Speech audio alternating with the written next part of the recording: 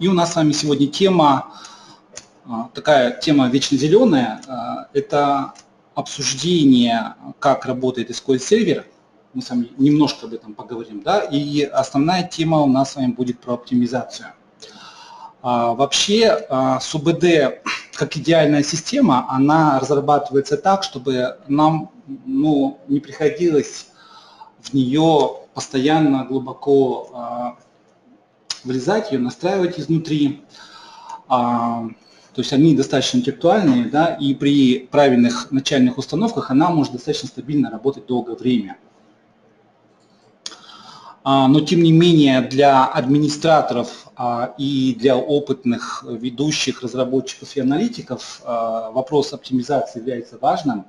И мы с вами будем обсуждать вот эти вопросы именно с точки зрения администраторов.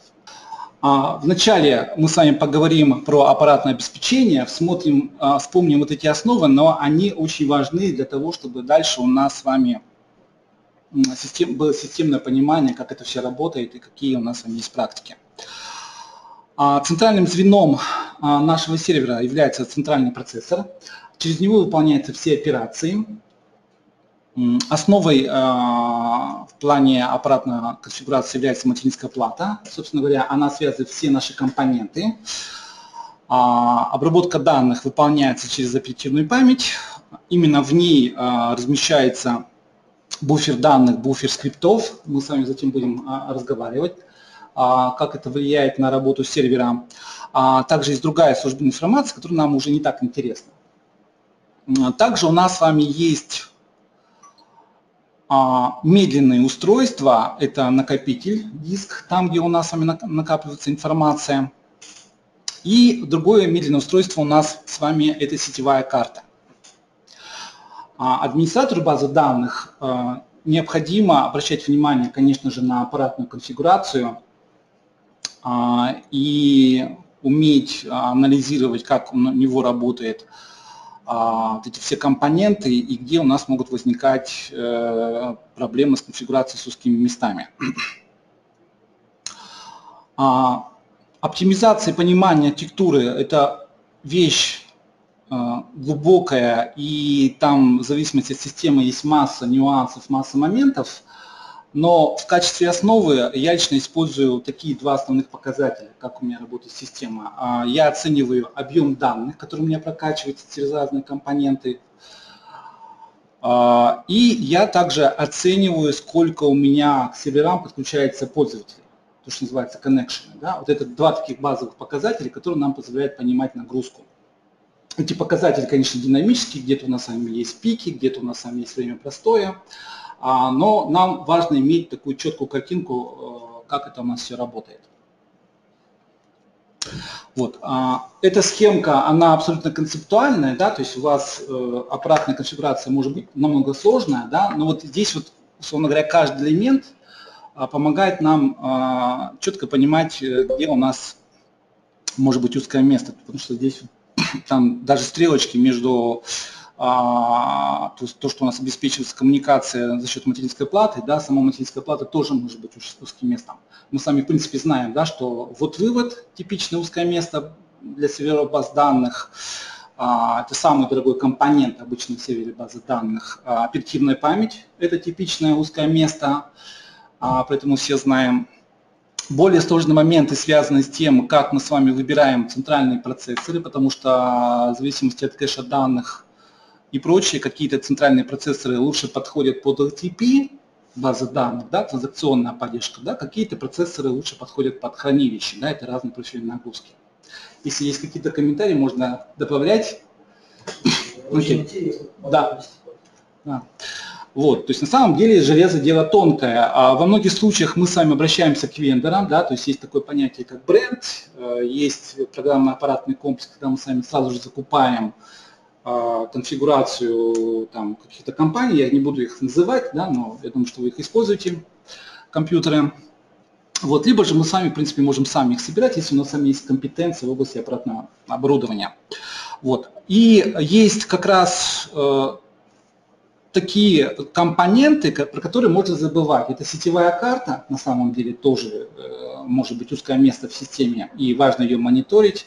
А в некоторых случаях а, также мы сами вставляем несколько сетевых карт в наши сервера баз данных, разделяем под ним нагрузку. Одна сетевая карта, например, это служебная нагрузка, там бэкапы и другие задачи. Да? Другие сетевые карты могут уже отвечать за то, чтобы выполнялись, э, работали бизнес-приложения. Да? И сама материнская плата, повторяю еще раз, она тоже может быть узким местом, поэтому для нее тоже имеются разные а, аппаратные решения. Ну, например, NUMA, на котором с вами создаются разные узлы. Вот. В аппаратную часть мы с вами не будем сильно вдаваться, потому что она все-таки очень специфическая да, для каждого вендора, для каждой конфигурации. Но вот эти важные моменты э, важно в голове у себя четко иметь. Это вот основа понимания, как все дальше работает. Вот есть такая популярная картинка. Мы с вами на ней видим, а, был опрос среди э, компаний, и они отвечали, какие основные причины а, по их оценкам являются основными. Видите, что вот внизу да, основная причина – это программный код. Я думаю, что коллеги опытные все согласятся, что это главная причина.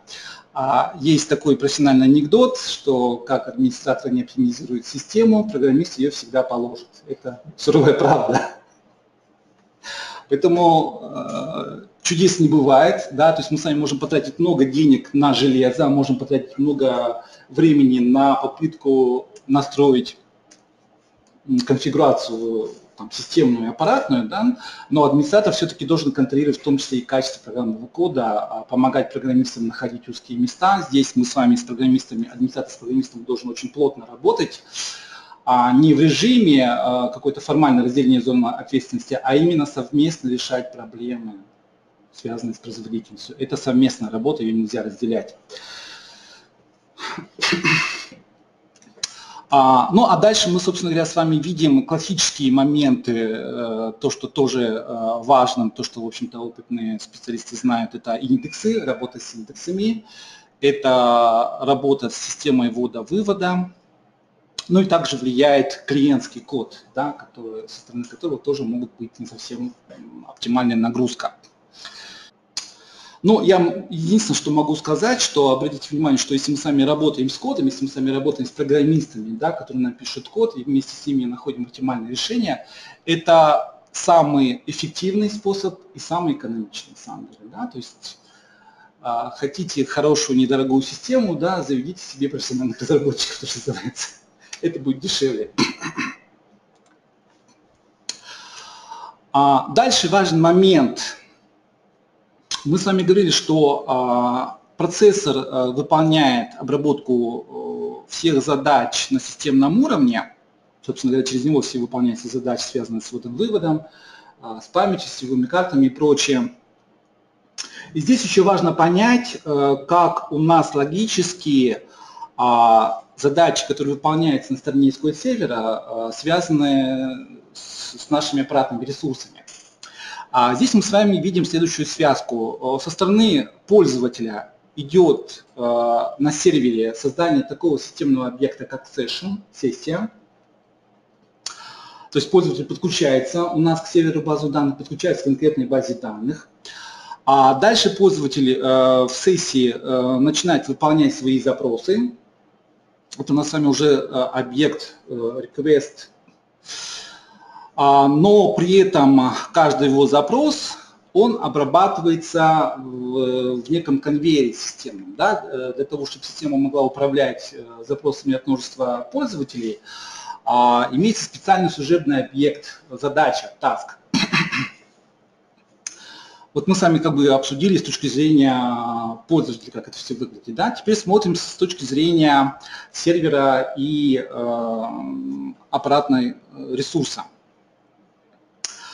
У нас с вами есть процессор, а, причем у нас с вами а, в современной архитектуре процессоры имеют много логических ядер, и у нас получается с вами а, несколько логических процессоров. Да? Мы с вами в данном случае говорим про логический процессор. Вот, мы с вами выделяем в конфигурации, какие процессоры может использовать SQL э, для обработки запросов, какие процессоры мы с вами оставляем для операционной системы, например, там, чтобы у нас с вами операционка тоже работала достаточно быстро, какие процессоры мы с вами оставляем для ввода-вывода, это называется процессор Affinity. Это все подробно рассказывается на курсе по администрированию.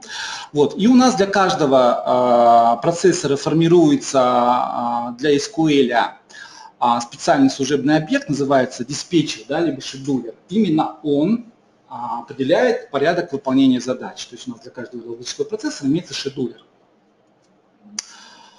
И, а, собственно говоря, те задачи, которые мы с вами получаем от каждого пользователя, у нас с вами для шедулера это выглядит как некий поток работ, да, вот thread. И, собственно говоря, у нас запросы от пользователей встают в некую очередь. Если у нас с вами а, конфигурация сервера достаточно мощная, то у пользователей возникает а, представление, что они все одновременно работают с базой данных одновременно. Да? Но причем а, и с точки зрения аппаратных ресурсов, и с точки зрения транзакций, да, все операции выполняются последовательно. Также мы с вами видим, что э, SQL позволяет нам через динамические представления управляющие посмотреть всю эту информацию. Там вверху, там написано, собственно говоря, как мы сами можем это посмотреть. То есть Select From, вот эти системные это все нам на самом деле доступно для понимания и для анализа. И это все как раз и используется при мониторинге производительности.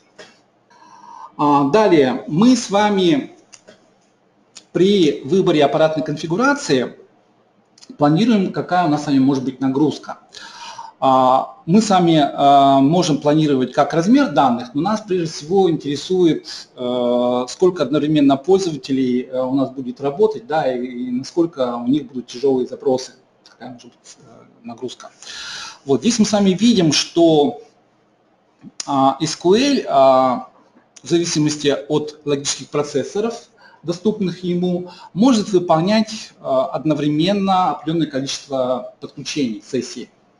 То есть, например, у нас, если у нас с вами 4 либо меньше процессоров, то на 32-битной архитектуре у нас с вами будет 256 подключений одновременно доступно, да? А если у нас с вами архитектура 64-разрядная, то у нас с вами будет 512 подключений. Дальше у нас с вами будет пользователь получать ошибку connection timeout, просто нет ресурсов. Соответственно, если у нас с вами а, пользователи, которые одновременно подключаются а, больше, то нам с вами необходимо также заложиться а, в нашей архитектуре. То есть мы с вами видим внизу формула, да, что там идет нелинейный рост на самом деле. Не забываем про то, что нам нужны процессоры для операционной системы, не забываем про то, что нам нужны процессоры для системы ввода-вывода. То есть, в принципе, для больших тяжелых систем это могут быть много процессоров. А здесь вот можно, я спрошу у коллег из банка, у вас примерно сколько одновременно пользователей бывает? У нас специфическая обработка ага. ценных бумаг только, и у нас там ну, не больше сотни. То есть по ценным бумагам у вас на самом деле нет такой большой э, нагрузки, ну, да? да? Да, окей. Хорошо, но на самом деле э, есть еще такое понятие, как connection pool, потому что в современной архитектуре э, приложения клиентские, они не держат постоянно подключение да, то есть мы с вами имеем connection pool, и в этом случае мы с вами тоже можем оптимизировать работу нашей системы. Что пользователей у нас намного больше, да, но при этом SQL у нас успешно справляется с этими нагрузками за счет использования пула коннекций. Еще также есть отличное решение, это разработка сервера приложений. А, то есть, если честно говорить, то все-таки от разработчика очень много зависит в плане производительности – вот, хотя, конечно, все администраторы вначале бегут, да, когда что-то не работает, когда что-то зависает, да, но по большому счету в многих случаях именно проблема в коде. Если разработчик постарается написать чистый SQL код, если разработчик разработает эффективный э, сервер приложения, то, конечно же, это очень в разы снижает нагрузку на систему, повышает ее возможности. Так, а здесь мы с вами видим как раз тот механизм, который нам позволяет э, понимать логику обработки запросов. То есть, когда нам с вами по сети приходит запрос от пользователя, то есть у нас здесь у нас с вами работает компонент network, то этот запрос, он вначале попадает в очередь, в очередь задач. Ну и, собственно говоря, затем, в зависимости от того, сколько у нас с вами процессоров, сколько там очередей у каждого процессора есть, задача пользователя, она по определенному кванту времени становится активной, а, начинает обрабатываться. Если задача легкая, то она сразу отрабатывается. Если задача тяжелая, то она начинает переключаться в состояние там, активное, неактивное. То есть у нас с вами рабочее время для каждой задачи, оно квантуется. Есть такое понятие квант процессорного времени. Вот. А дальше у нас с вами а, при выполнении запроса а, происходит на самом деле много внутренних операций, связанных с тем, что у нас команда SQL, она же текстовая, да, она сначала должна обработаться в плане синтезиса, должна выполниться проверка, то, что все объекты существуют доступны в плане прав безопасности и прочие такие вещи. Вот. А затем происходит такая важная операция, компиляция а, запроса. Что такое компиляция? Это превращение из текстового представления а, нашего запроса уже в бинарный формат внутренний для сервера. При этом на основе статистики у нас с вами выполняется оптимизация. То есть для сложных запросов там SQL может оценивать э, на основе статистики разные варианты выполнения запросов, находить оптимальные с точки зрения стоимости, прежде всего. Вот. И здесь мы с вами видим, зачем ну, нужно серверу оперативная память, потому что у нас э, планы выполнения попадают так называемый э, буфер скриптов, план кэш. А, и также система старается кэшировать данные, это тоже очень важный момент, а, чтобы данные, которые прочитались э, при запросе, они попадая, оставались в оперативной памяти, и это критично влияет на скорость работы системы. Но это можно легко заметить, что если э, запустить там нагрузочный тест на сервере с маленькой оперативной памятью, при всех остальных э, прочих э, параметрах, там, мощном процессоре, там, быстрых дисках, да, мы сами тут же увидим, что система начнет, э, у нее будет повышенная нагрузка просто из-за того, что она будет постоянно делать свопинг. Поэтому традиционно а, для любых серверов баз данных а, тоже есть такая поговорка, оперативной памяти много не бывает. Да? Это, конечно, зависит в том числе от обратной конфигурации. Вот. Но во многих случаях а, мы с вами при диагностике можем видеть, что проблемы связаны именно с недостатком оперативной памяти. И это достаточно такое относительно недорогое простое решение добавить оперативную память, если у нас есть такая с вами возможность финансовая и техническая. Так, ну и, собственно говоря, а, дальше при отработке задач у нас э, воркер э, переходит к другой задаче в очередь задач, и результат данных у нас передается в сеть. Так, а, ну здесь как раз такая классическая а, схема, то есть таких можно найти схем разных весей достаточно много. А, как устроен SQL сервер изнутри. А, ну, во-первых, я хочу сказать, что SQL сервер современный, это гибридная платформа, там есть очень много различных а, функций, утилит, сервисов. Мы здесь с вами говорим только про Database Engine на самом деле. Да? Это, скажем так, небольшая часть современной платформы, но по остальным вещам мы с вами просто не будем разговаривать. Есть еще отдельная тема, как, например, оптимизировать работу многомерных баз данных, она у нас сюда не входит это другая тема. Мы с вами говорим именно про обычные реляционные базы данных. И вот обратите внимание, если вы изучаете э, документацию MSDN, что настоятельно рекомендуется, э, то там часто используется понятие SQL OS. Да, это такой специальный слой, э, который позволяет нам разворачивать SQL сервер на разных версиях Windows, в том числе 16 SQL работает также на Linux есть он только-только вышел, я думаю, что еще не успели потестировать да, такие вещи. Но вот если у вас гибридная платформа, то у вас возникает возможность использовать SQL не только на операционке от Microsoft. Это именно обеспечивается за счет этого API.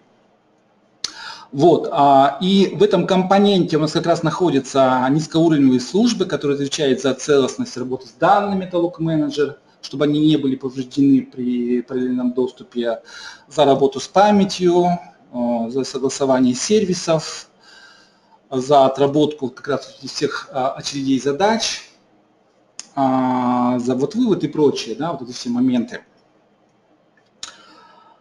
А, это, в принципе, неплохо описано в MSDN, и есть, в принципе, много литературы, где можно это все спокойно э, поизучать, если э, в случае необходимости. Вот. На более высоком уровне а, у нас имеется компонент Storage Engine. Там, где, собственно говоря, уже мы с вами а, работаем с данными, со строками, с индексами, с страницами и прочее. Ну и, в принципе, тоже идет э, взаимодействие э, с памятью, работа с блокировками, работа с транзакциями, важный момент. Вот. А в плане оптимизации мы, когда занимаемся оптимизацией запросов, нам, нас уже интересна обработка а, query процессора, как работает query optimizer SQL в разных редакциях, в разных версиях. И мы, собственно говоря, можем именно под нашу редакцию выполнять оптимизацию, как это все делается. Вот, а с точки зрения баз данных мы с вами уже работаем а, с объектами хранения данных, такие как таблицы, индексы, да, и с функциональными объектами, там, где мы с вами пишем какую-то нашу логику. Это представление, функции, хранение процедуры, триггеры и прочее. И затем еще есть важный момент, это протоколы, по которым у нас с вами идет взаимодействие нашего сервера а, с внешними приложениями. Тоже важный момент – когда у нас с вами классическая клиент-серверная архитектура, то у нас с вами обычно используется TCP-IP, это стандартный сетевой протокол, то есть у нас с вами клиенты подключаются через TCP-IP клиентам, э, серверу и, собственно говоря, выполняется их обработка.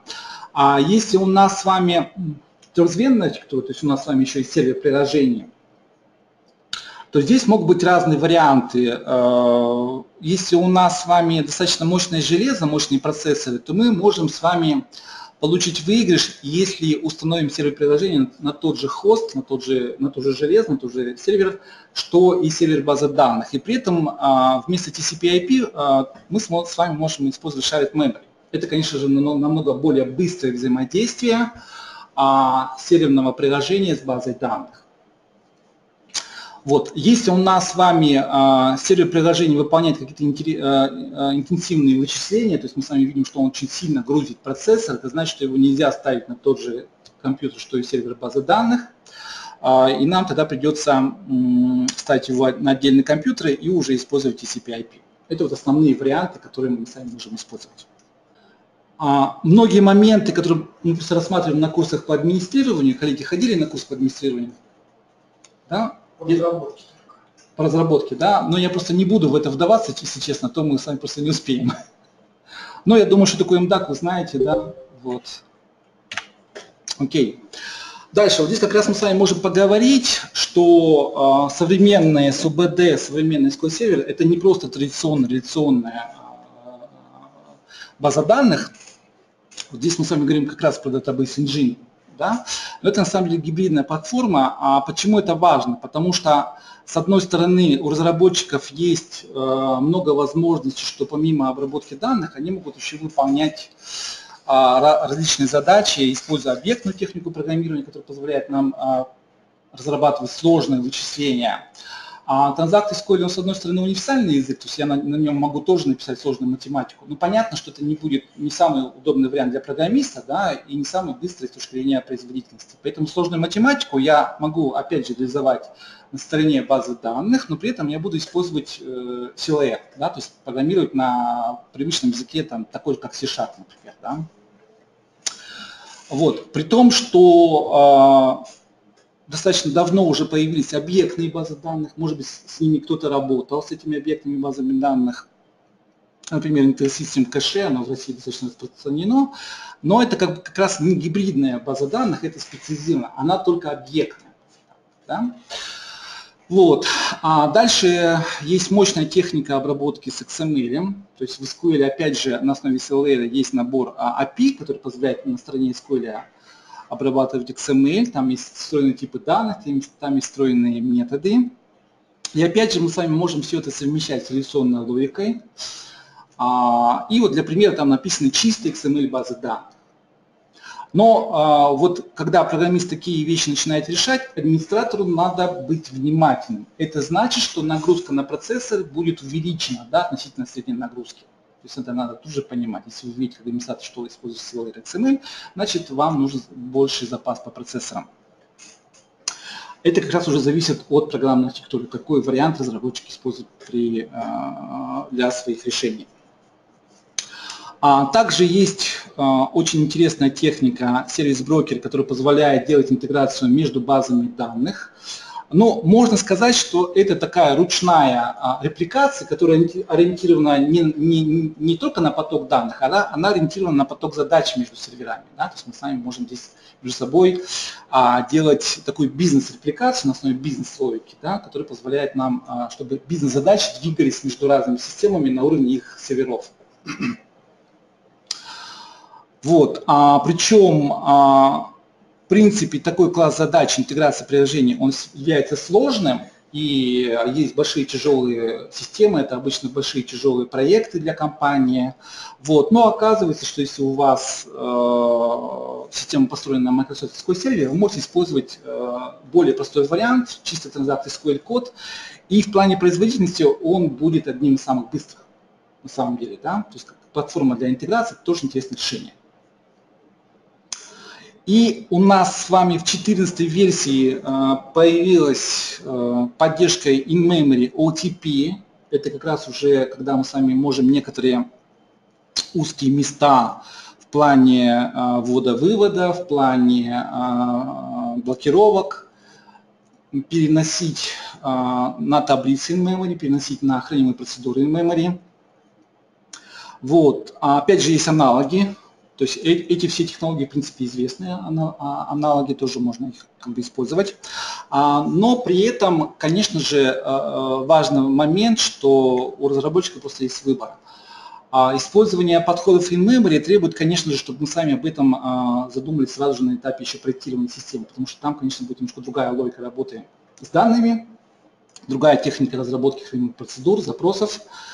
Вот. В 14 версии in-memory он ограничен, там есть много ограничений технических, да, что, что, собственно говоря, не позволяет э, полноценно перенести большие системы на in-memory. А, но в 16 а, SQL там уже многие ограничения по синтаксису, по ресурсам, они сняты. А, тем не менее, в 14 SQL уже первый кандидат на оптимизацию – это перенос временных таблиц в in-memory. Да, это самый, самый первый кандидат. Вот. А, коллеги, опять же, кто интенсивно использует временные таблицы своей техники? Используем, конечно. Да, вы как администратор видите, да, насколько у вас временная таблица нагруженная, да, и разработчики тоже могут использовать временные таблицы, и сам SQL тоже ее сильно использует. Вот, поэтому, чтобы не переделывать полностью всю систему, я лично рекомендую, прежде всего, перевести ту логику, которая связана с временными таблицами Вот для нее а, то, что есть в 14 SQL, этого достаточно. Это может вам уже дать хороший выигрыш. Ну, по оценкам Microsoft от 5 до 10 раз. Да? А зачастую у нас вот есть прямо какое-то узкое место в системе, да, мы с вами знаем, что оно узкое, да, и уже есть ограничения по, по железу и так далее, да, и мы с вами знаем затыки с временными таблицами, там, что вот здесь вот именно может быть отличное решение. Так, вот мне приходится много общаться и с заказчиками, то есть я, я когда занимаюсь проектами, я потом внедряю у заказчика свои решения занимаюсь поддержкой, да, там, по, по гарантии и прочее. Да. Вот, мне приходится общаться и с заказчиками, приходится общаться с коллегами, которые ко мне приходят на обучение. Конечно же, в начале, когда еще опыта недостаточно, да, возникает а, ну, такие как бы гипотезы, да, как это все работает, э, и я вижу своей первой задачей это развеять иллюзии да, у моих коллег, что, скажем так, а, нету какого-то чудесного рецепта, да, всегда нужно иметь такую системную работу по мониторингу, по производительности для того, чтобы быть уверенным, что мы сами оптимизируем то, что надо, и делаем то, что именно приносит к нам результаты. То есть, во-первых, а, даже если у вас а, какое-то приложение работает на двух серверах, да, то, скорее всего, оно будет иметь какие-то отличия. Вот, может быть, вы это замечали, да, мне приходилось на такие вещи обращать внимание, что ты вроде как ставишь систему, на которой у тебя на сервере работает несколько лет, ставишь на другой сервер, он имеет похожие конфигурации, но он работает уже по-другому, да. Вот. А, там какая-то какая другая сетевая среда, что-то такое, это все влияет, оказывается. Дальше, на самом деле, все меняется. У вас постоянно меняется количество пользователей, у вас постоянно меняются аппаратные какие-то характеристики, а влияет в том числе и характеристики внешние аппаратные, да на систему, там сетевые, например, какие-то настройки влияют. И у вас программисты, они же кушают свой хлеб, правильно, да, они постоянно обновляют как системные компоненты, так и прикладные компоненты. То есть это все очень сильно меняется. Ну и э, поработав, то есть мне в свое время э, довелось поработать с опытными коллегами, да, которые тоже мои мифы это раз, развеивали, да, то есть у меня тоже же раньше было представления каких-то тайных знаний. Мне довелось поработать в том числе с разработчиками Microsoft, они как бы должны знать все, да, если они пишут код SQL, они должны, знать все, правда? Вот. Но оказывается, что SQL это сложная динамическая система, и там на самом деле а, все делается с помощью тестирования на самом деле, да, то есть тоже задача решается оптимизация только с помощью тестирования. А, безусловно, конечно же, э, интуиция нам помогает, да, когда, в принципе, мы с вами имеем богатый жизненный опыт, у нас с вами уже есть какие-то приоритеты, в которых мы с вами понимаем, что, скорее всего, проблема вот в этом, да, и там, там какая-то проблема в коде, либо какой-то индекс, мы с вами это можем очень быстро сделать. Но надо быть всегда аккуратным. А, то есть я считаю, что профессиональный признак – это такая как бы поведение пуганой вороны, да, ты всегда стараешься посадить соломочку, да, а что будет, если не получится? То есть ты должен быть всегда к этому готов. Это профессиональное поведение администраторов то есть не доверять самому себе.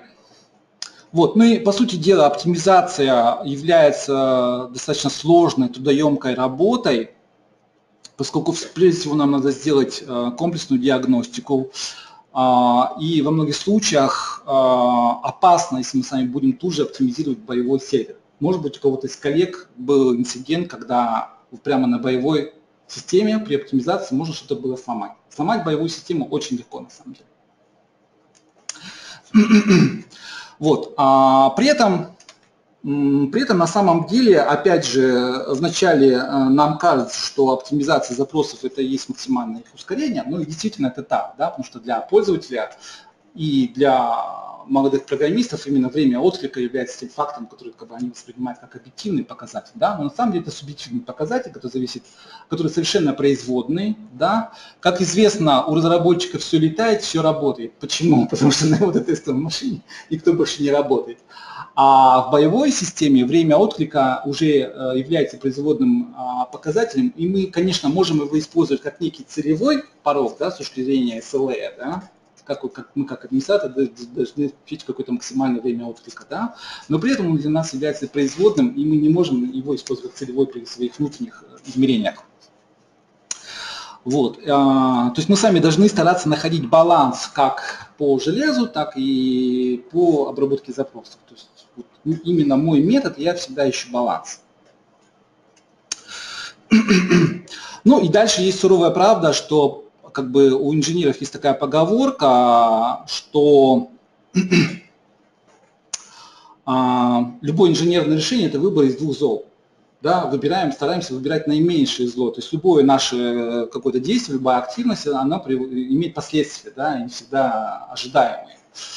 Вот. А в плане оптимизации это всегда такой важный момент, что мы сами должны понимать, а на какие, на что это может повлиять да, и обычно оптимизация приводит к усложнению работы системы. Как там, аппаратному усложнению, программному а, усложнению, архитектурному усложнению. То есть за оптимизацию надо платить. Вот. Ну и важный момент, что оптимизацией можно заниматься бесконечно. Это работа, которая unlimited, поэтому у вас должен быть, во-первых, для себя четкие понимание целей, критерий, которые вы для себя задаете, то есть приемлемый уровень для вас производительности. С другой стороны, конечно же, сапожник должен быть в сапогах, то есть мы с вами, как администраторы-разработчики, должны использовать инструменты, должны это все дело автоматизировать. Это в наших руках. Вот. И получается, что у нас с вами диагностика, это, как мы с вами видим, да, такой постоянный, автоматизированный да, и многомерный анализ на самом. То есть нет вот простого показателя, нет простого набора показателей, да, который э, вот всегда нам дает объективную картинку. Мы с вами всегда как бы еще занимаемся таким как бы метаанализом, да, а насколько наша методика в данном случае срабатывает, окей, помимо того, что мы сами их используем. Ну и такие классические области нагрузки, которые мы с вами отслеживаем, да, прежде всего это вот вывод, работа индексов, а здесь как раз интересная обратная связь, что когда мы с вами а, настраиваем индексы, мы с вами это делаем прежде всего для того, чтобы уменьшать ввод-вывод, да, потому что грамотная настройка вводов-выводов, она, грамотная настройка индексов, она как раз снижает э, в разы и там порядки именно нагрузку на ввод-вывод. Это первое, за что мы с вами смотрим. Также, конечно, мы с вами а, смотрим на транзакции, уровень изоляции, как это все влияет в плане блокировок. А, здесь мы с вами уже это делаем совместно с разработчиками, потому что здесь от программного кода, это, то есть качество программного кода уже становится критическим фактором. Здесь мы с вами как администратор должны э, учить разработчиков, помогать им, как писать качественный код, который будет в нашей системе корректно работать. Да? Ну и, конечно же, запросы.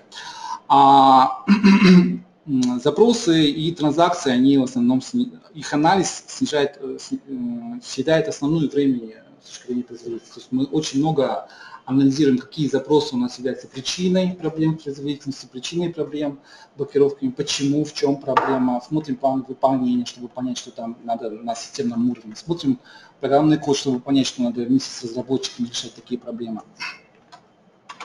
То есть вот такие основные зоны нагрузки, которые мы с вами отслеживаем.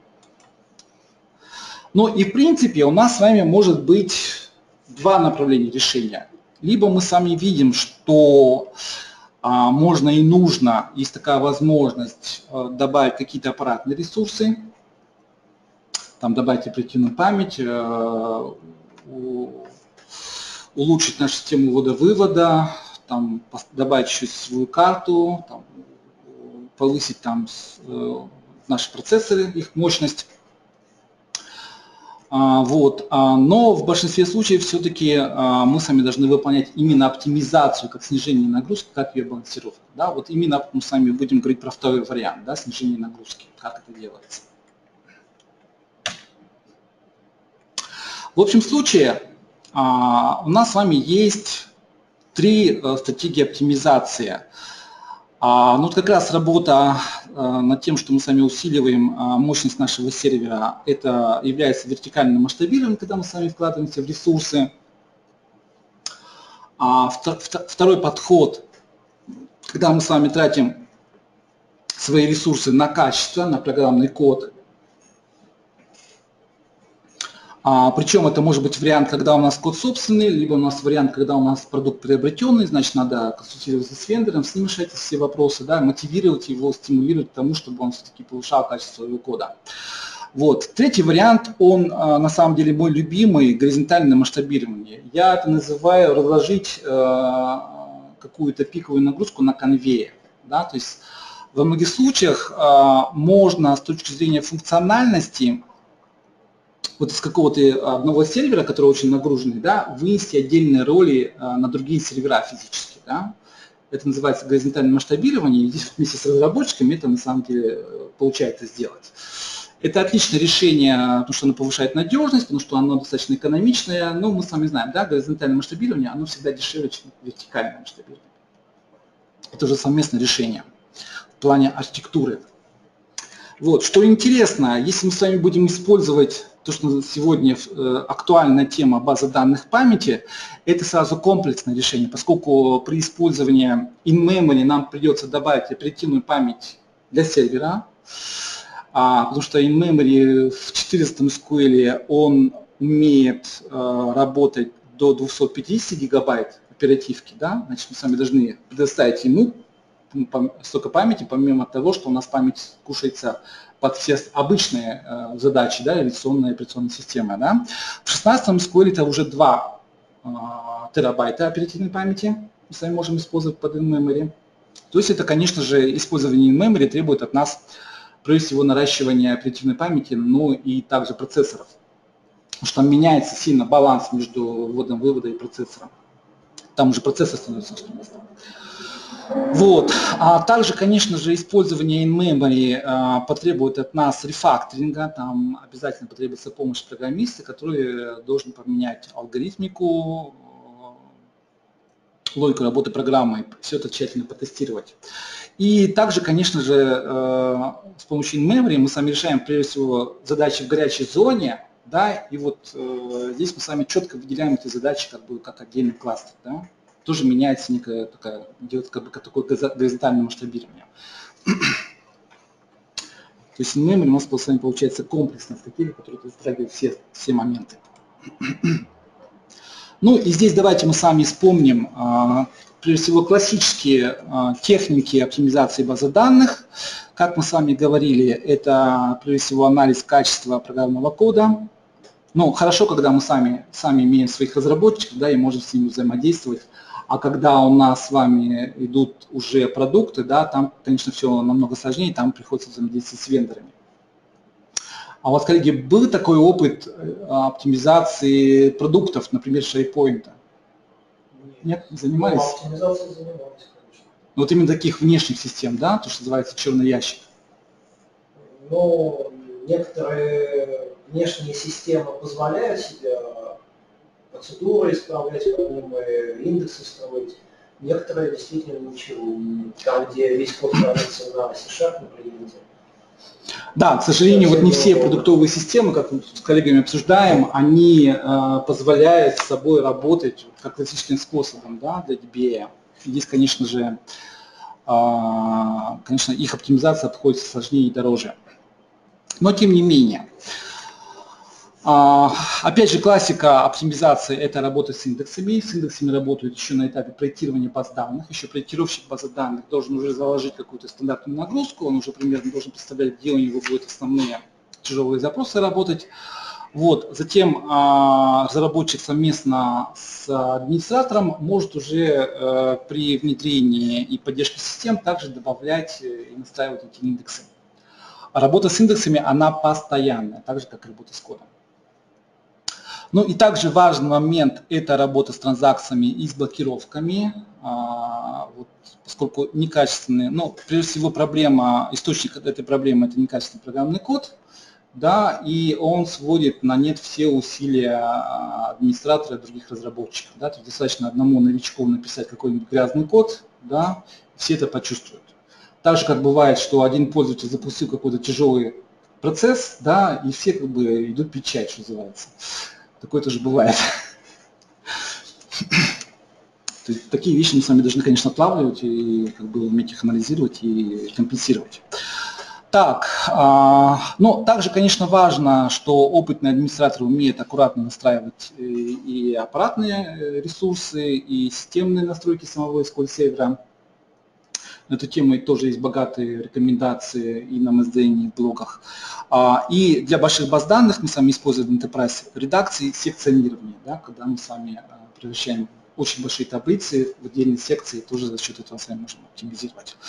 Вот, а, а, в некоторых случаях приходится использовать рефакторинг. Вот у меня была такая история, когда мы хотели сделать обычное клиентско-серверное приложение, но нам требовался реал-тайм, да, а база данных это не real-time, да, и у нас были проблемы с железом у заказчика. Заказчик не был готов выставить то железо, которое требовалось, да, нам пришлось написать сервер приложения.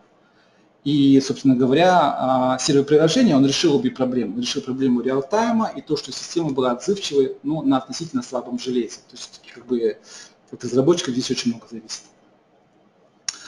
А, вот. И а, в плане рефакторинга мы, мы сами также можем уже с 14 версии использовать in-memory. Это тоже техника рефакторинга. Здесь мы с вами давайте поговорим про баланс нагрузки, потому что а, во многих случаях мы с вами делаем оптимизацию, то, что называется на бегу. Да, у нас с вами там очень задач, очень критичных, да, и мы зачастую просто делаем некие заплатки прямо здесь подкрутили какой-то там индекс, подкрутили какой-то запрос и так далее, чтобы он заработал. Но на самом деле все-таки важно понимать в целом, как у нас работает система и так далее. Здесь мы опять же с вами поговорим про память, потому что недостаток памяти действительно такая вещь очень серьезная, что как только у нас памяти с вами не хватает, у нас тут же увеличивается нагрузка на вот вывод, и тут же увеличивается нагрузка на процессор. Да, конечно, мы с вами можем добавлять там лишние процессоры, можем там ускорять наши там системы ввода-вывода, но во многих случаях проще и правильнее именно сделать диагностику, увидеть, что проблема в оперативной памяти, да, и ее расширить так, как это требуется под нашу нагрузку.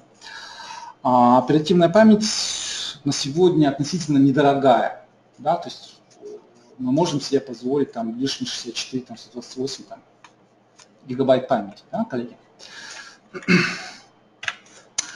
А, дальше, опять же, может быть э, другой момент.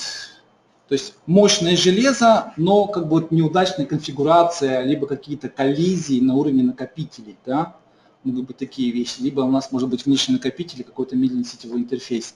То же самое, то есть мы с вами видим, что оперативной памяти хватает, процессоры не перегружены, да, почему система тормозит. Смотрим, что у нас действительно проблема в том, что у нас много очередей там, сетевых там, а, интерфейсах, либо в вводе вывода. А, здесь важный момент, что а, с точки зрения оптимизации в многих случаях важно смотреть на это глазами пользователей. Да? То есть вот, учитывать их обратную связь. А, еще может быть важный момент, если мы с вами не учли, что при высокой нагрузке, даже если мы с вами купили много памяти, много дисков, быстрые процессоры, но не подумали про системную шину. Да? Это будет следующее узкое место. Как определить, есть счетчики какие-нибудь системной шины? По системной шине, а, честно говоря, сходу не скажу, но должны быть обязательно, должны быть такие вещи. Там же э, будут очереди накапливаться, да, то есть мы с вами видим нагрузку, видим какие очереди, да, и можно прямым или косвенным образом уже там, увидеть эти вещи. А, ну и, собственно говоря, а, что мы а, при высокой нагрузке хотим с вами сделать? Нам не нужны с вами большие диски, мы с вами хотим как раз, э, чтобы у нас с вами были э, быстрые диски и чтобы они обеспечили параллельный ввод-вывод, а при этом у нас с вами чем больше накопителей сетевых карт, тем больше требуется процессоров под ввод-вывод. Да? То есть всегда не забываем про эти балансы. То есть любое решение мы сами стараемся балансировать, да, вот такой принцип. А понятно, что такие как бы самые простые общие кейсы, да, так, чисто для интереса.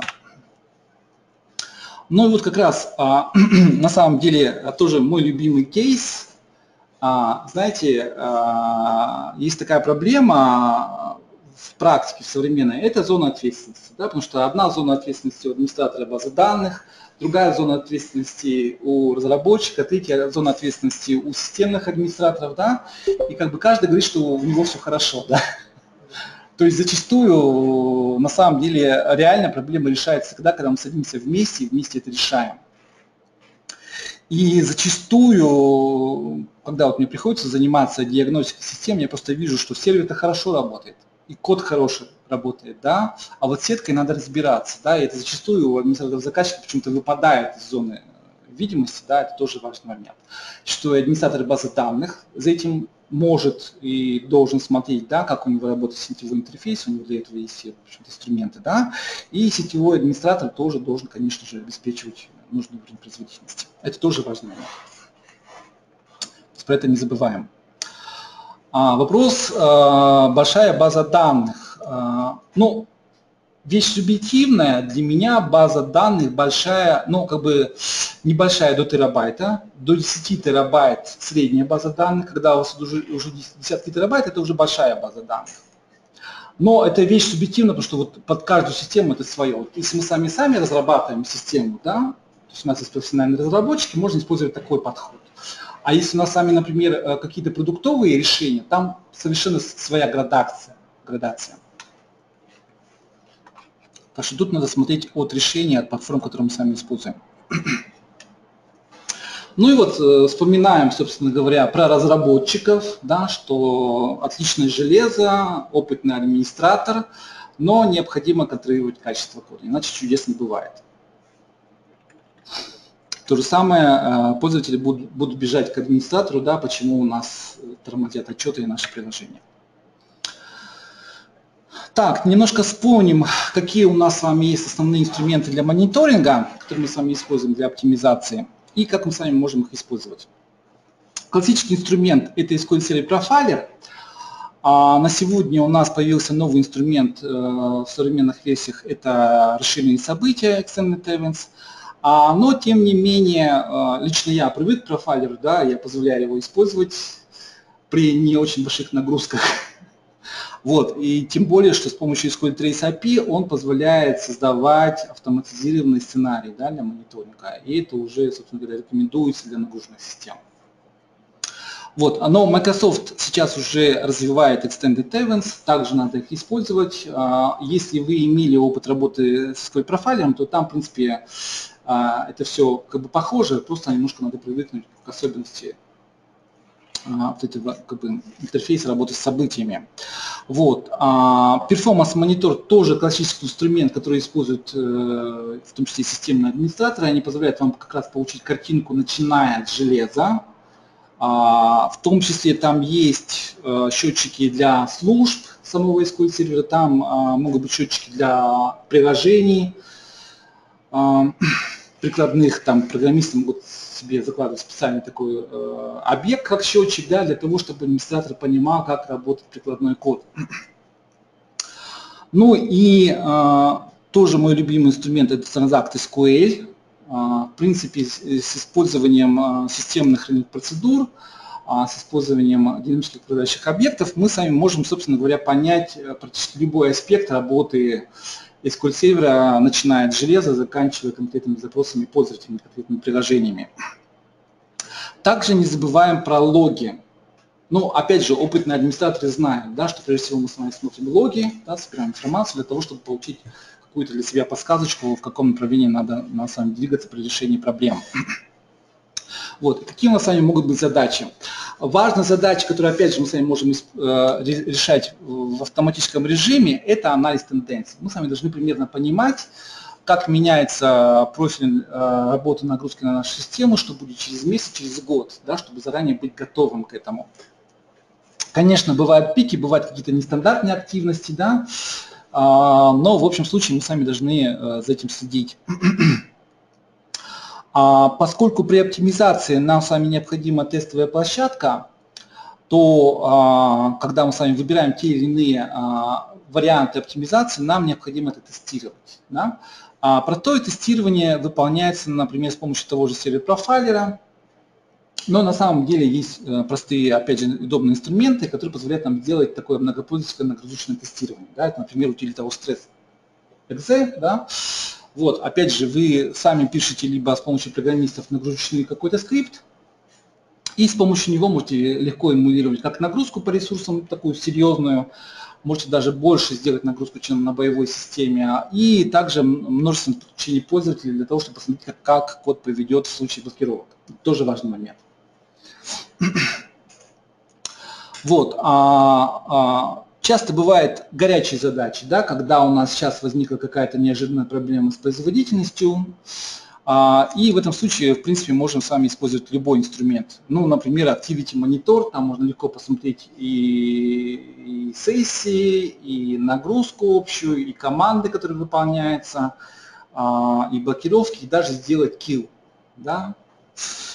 Вот, то, что называется. Ну, kill, конечно, не решает таких проблем, да, а как эти монитор поднимется, там 100 раз успеешь э, Ну да, но тем не менее для начинающих э, администраторов это инструмент.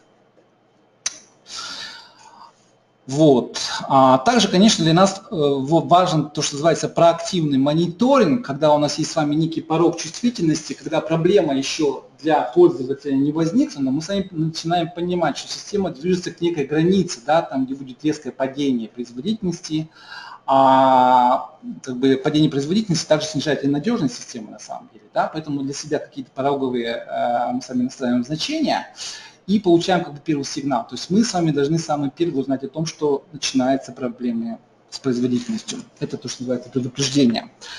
Вот. А, вот я, честно говоря, наверное, ошибся. Там должен быть перформанс-монитор, да, галочка. Это ошибка на слайде, да. Но и с помощью транзакта School тоже можем это все легко настроить.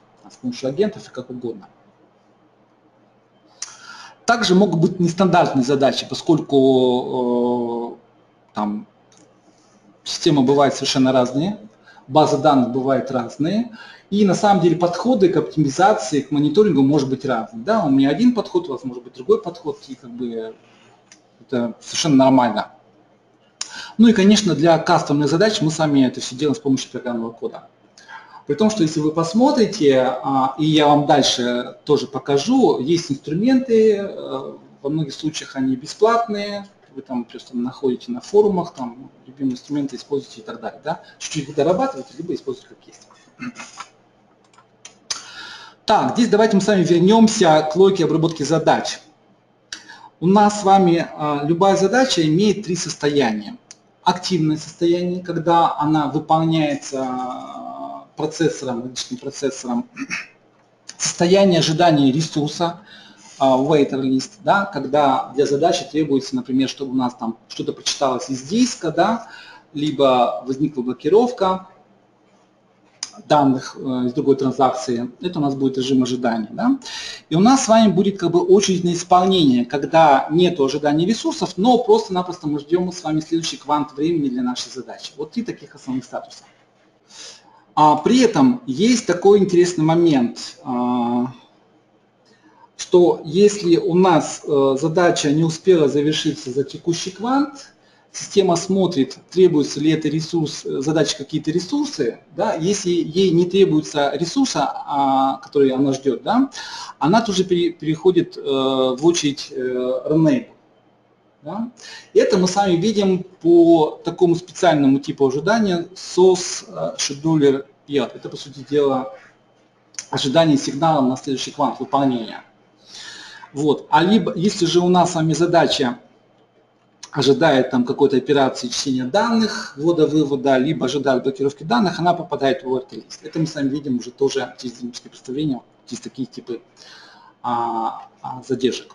Дальше мы с вами про это чуть побольше поговорим. Так, ну и по сути дела, можно сделать достаточно комплекс, получить такую полную картинку, а анализировать именно вот эти ожидания. То есть вот эти ожидания, они очень важны. Да? Тоже моя любимая техника, что вот, э, анализируя эти данные, ты можешь уже получить такую, ну, процентов, наверное, на 80, да, полную картинку, что у тебя происходит. Вот. А с помощью представления динамического DMOS Weight Stats мы с вами получаем накопительную статистику по разным типам ожиданий. Вот. А с помощью представления DMOS Weighting Task мы с вами можем увидеть все текущие активности. Так, коллеги, я забыл сказать, я это потом все выложу на сайте. Окей, что скопируйте потом, то, что вы помните все вещи. Ну и вот, с помощью таких представлений мы с вами можем, в общем-то, понять профиль нашей системы. У нас с вами может быть э, маленькие ожидания, у нас с вами может быть маленькое количество задач. Это значит, что э, наши ресурсы программно-аппаратные полностью покрывают запасом текущую нагрузку. Да? То есть нагрузка относительно небольшая для нашего железа. Это, собственно говоря, для нас отпуск, называется. Да? Отдыхаем в данном случае. А, может быть вариант другой. Мы с вами видим, что много задач, но задержек относительно немного. Да? А, это значит, что как бы, наш сервер, он оптимально сконфигурирован, да, и как бы, мы эффективно справляемся с высокой нагрузкой. Да-да. Я анализировал, основные э, рейтинги у нас это с параллелизацией связаны. Вот о чем это говорит и как бороться можно? Есть какие-то рецепты? А, насчет параллелизации, да, это вот SX Packet, да, если я правильно помню, такие ну, задержки, да? этом, да, точно не могу а, Да, а, ну смотрите, само, сами по себе вот есть рейтинги, которые на самом деле не являются алармом, они нормальные, окей? То есть там надо различать вейтинги, которые связаны, например, с ресурсом, с вводом, выводом, вот за ними мы с вами следим, да. Есть ожидания, связанные с блокировками, за ними тоже самое следим, да. А вот рейтинги, связанные с переключением, например, да, либо с параллельностью, если мы с вами видим, что система работает нормально, нас это как бы не беспокоит, окей? То есть это такой как бы косвенный признак, он сам по себе, высокий показатель, не является проблемой. В совокупности с другими э, показателями он уже может нам помогать понять, в чем проблема. В данном случае, если у нас сами система тормозит, и мы сами видим, что еще высокие вот эти показатели по параллельности, да, то может быть два варианта. Либо у нас с вами некорректно настроен э, чувствительность э, порогу, когда требуется распределивание, да, в SQL есть такой параметр конфигурации сервера, да, вот, либо у нас с вами есть хинт какой-то, программисты тоже могут там хинты делать, либо же у нас с вами действительно процессор стал узким местом. Да? То есть он как бы не успевает за квант отработать, у нас слишком много таких приключений. Но я повторяю, что сам по себе а, данное ожидание не является алармом. То есть отдельно мы по нему не оцениваем. Okay? А есть какая-нибудь диаграмма, на какие рейтинги стоит обращать внимание?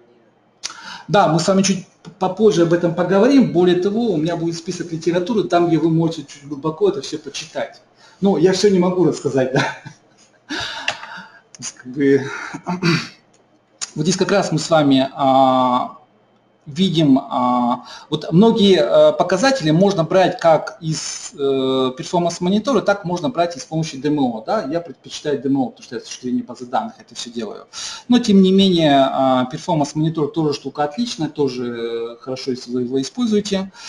И мы с вами с помощью него можем относительно просто анализировать нагрузку на железо в плане процессора. Вот мы с вами видим показатели, которые можно использовать именно а, для анализа нагрузки на процессоры и как бы аналогичные динамические представления, которые можно использовать на стороне базы данных. Так, так, ну и что, собственно говоря, мы сами можем делать, если мы с вами видим перегрузку процессора, да, видим, что, например, он не справляется, да, а, здорово, когда нам здесь могут помочь разработчики, да, если у нас с вами есть опыт, который позволяет нам оценить качество кода и вместе с разработчиком оперативно его решить. Я повторяю, что это на самом деле самый правильный, самый экономичный вариант и самый быстрый на самом деле. То есть, а, если честно, кто не работает, тот не ошибается. Э, на боевых проектах иногда пишешь не самый оптимальный код, да, и потом, когда ты локализуешь его вот в реальной нагрузке, то его поправить, в общем-то, дело это несколько часов. Да, тут ничего страшного нет. Поэтому обращаю на это внимание. Вот. А, второй момент, который мы с вами должны проконтролировать, что еще работает на сервере. Да, какие у нас еще другие активности могут работать. Это может быть, не дай бог, антивирус, да, это может быть какая-то утилита безопасности, да, все что угодно. Да, то есть вы должны это контролировать, если у нас сервер является критичным. Также у нас с вами по определенным причинам может быть слишком высокий уровень компиляции нашего кода, да, то есть это, на это влияет и там какой-то некорректные настройки статистики, на это могут влиять в том числе и сам программный код, когда там есть опция recompile, да, они не всегда могут быть оправданы, да, то есть это мы с вами тоже разбираемся. То есть именно операция компиляции самого кода, они являются интенсивными в плане нагрузки на CPU тоже это смысл. А можно ли какими-нибудь способами задать э, время компиляции, увеличить его, э, чтобы ну, Microsoft он э, разумное время компиляции использует, а у нас есть возможность там час, чтобы он подбирал план выполнения, но чтобы самый лучший. Есть такая возможность или нет? Um, то есть увеличить время компиляции для того, чтобы получить, условно говоря, идеальный план выполнения. Да. Коллеги, возвращаемся к мифам. Идеальных планов выполнения, во-первых, нет. Ну, хорошо, чем больше будет перебрано и более надежно. Видите, в чем дело? В зависимости от параметров наш план выполнения всегда является среднеоптимальным. Вы же понимаете, да, что на одних параметрах он будет иметь такой вот вывод, да, на других параметрах он будет, иметь другой вот вывод, почему там иногда приходится делать опцию recompile да, из-за этого. Поэтому как бы, идеальный план выполнения, там есть такая штука, как план гайд, когда мы сами, сами как бы подбираем оптимальный параметр, докручиваем query optimizer, да, но не зашиваем это в боевой код, потому что в боевом коде всякие хинты это зло, окей, потому что вы мешаете query optimizer балансировать нагрузку, окей. Это техника план-гайдов. А на курсе по оптимизации я потом дальше покажу, это рассказывается, здесь я просто не буду в это вдаваться. Ну и оказывается, что во многих случаях, если мы с вами видим перегрузку по процессору, то может быть действительно у нас проблема-то с оперативной памятью, да, то есть как бы ищем всегда первопричину проблем. Либо же в некоторых случаях нам придется действительно сделать апгрейд, ну а процессоры это дорогие компоненты, да, то есть это не во всех случаях по финансовым э, аспектам для нас это возможно. Вот. Также, конечно же, важно, чтобы все наше железо было корректно настроено, потому что в многих случаях там могут быть проблемы именно с некорректной настройкой железа. Да, что чисто вот рейд как-то не так настроен и прочие вещи. Но это уже, в принципе, мы с вами обращаемся к вендорам, чтобы они помогали нам такие вещи настраивать. На что тратится память сервером баз данных?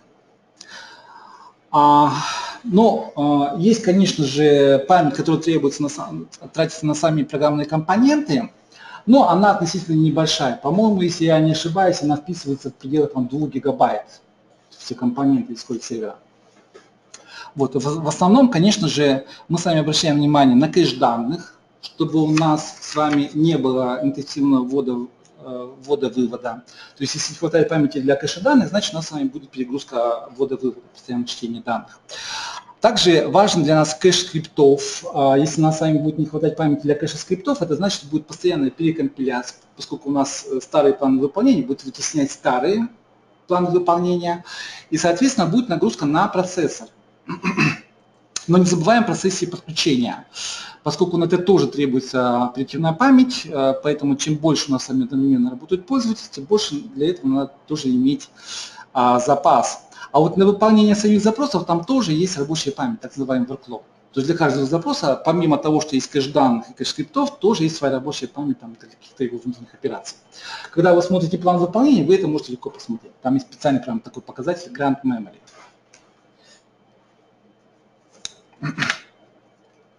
Так, ну и опять же, как мы с вами можем поанализировать нагрузку на оперативную память? Э, здесь мы с вами видим счетчики, видим такую команду dbcc memory status, она дает такую детальную картинку нам по а, в реальном времени по а, использованию, по работе памяти сервера.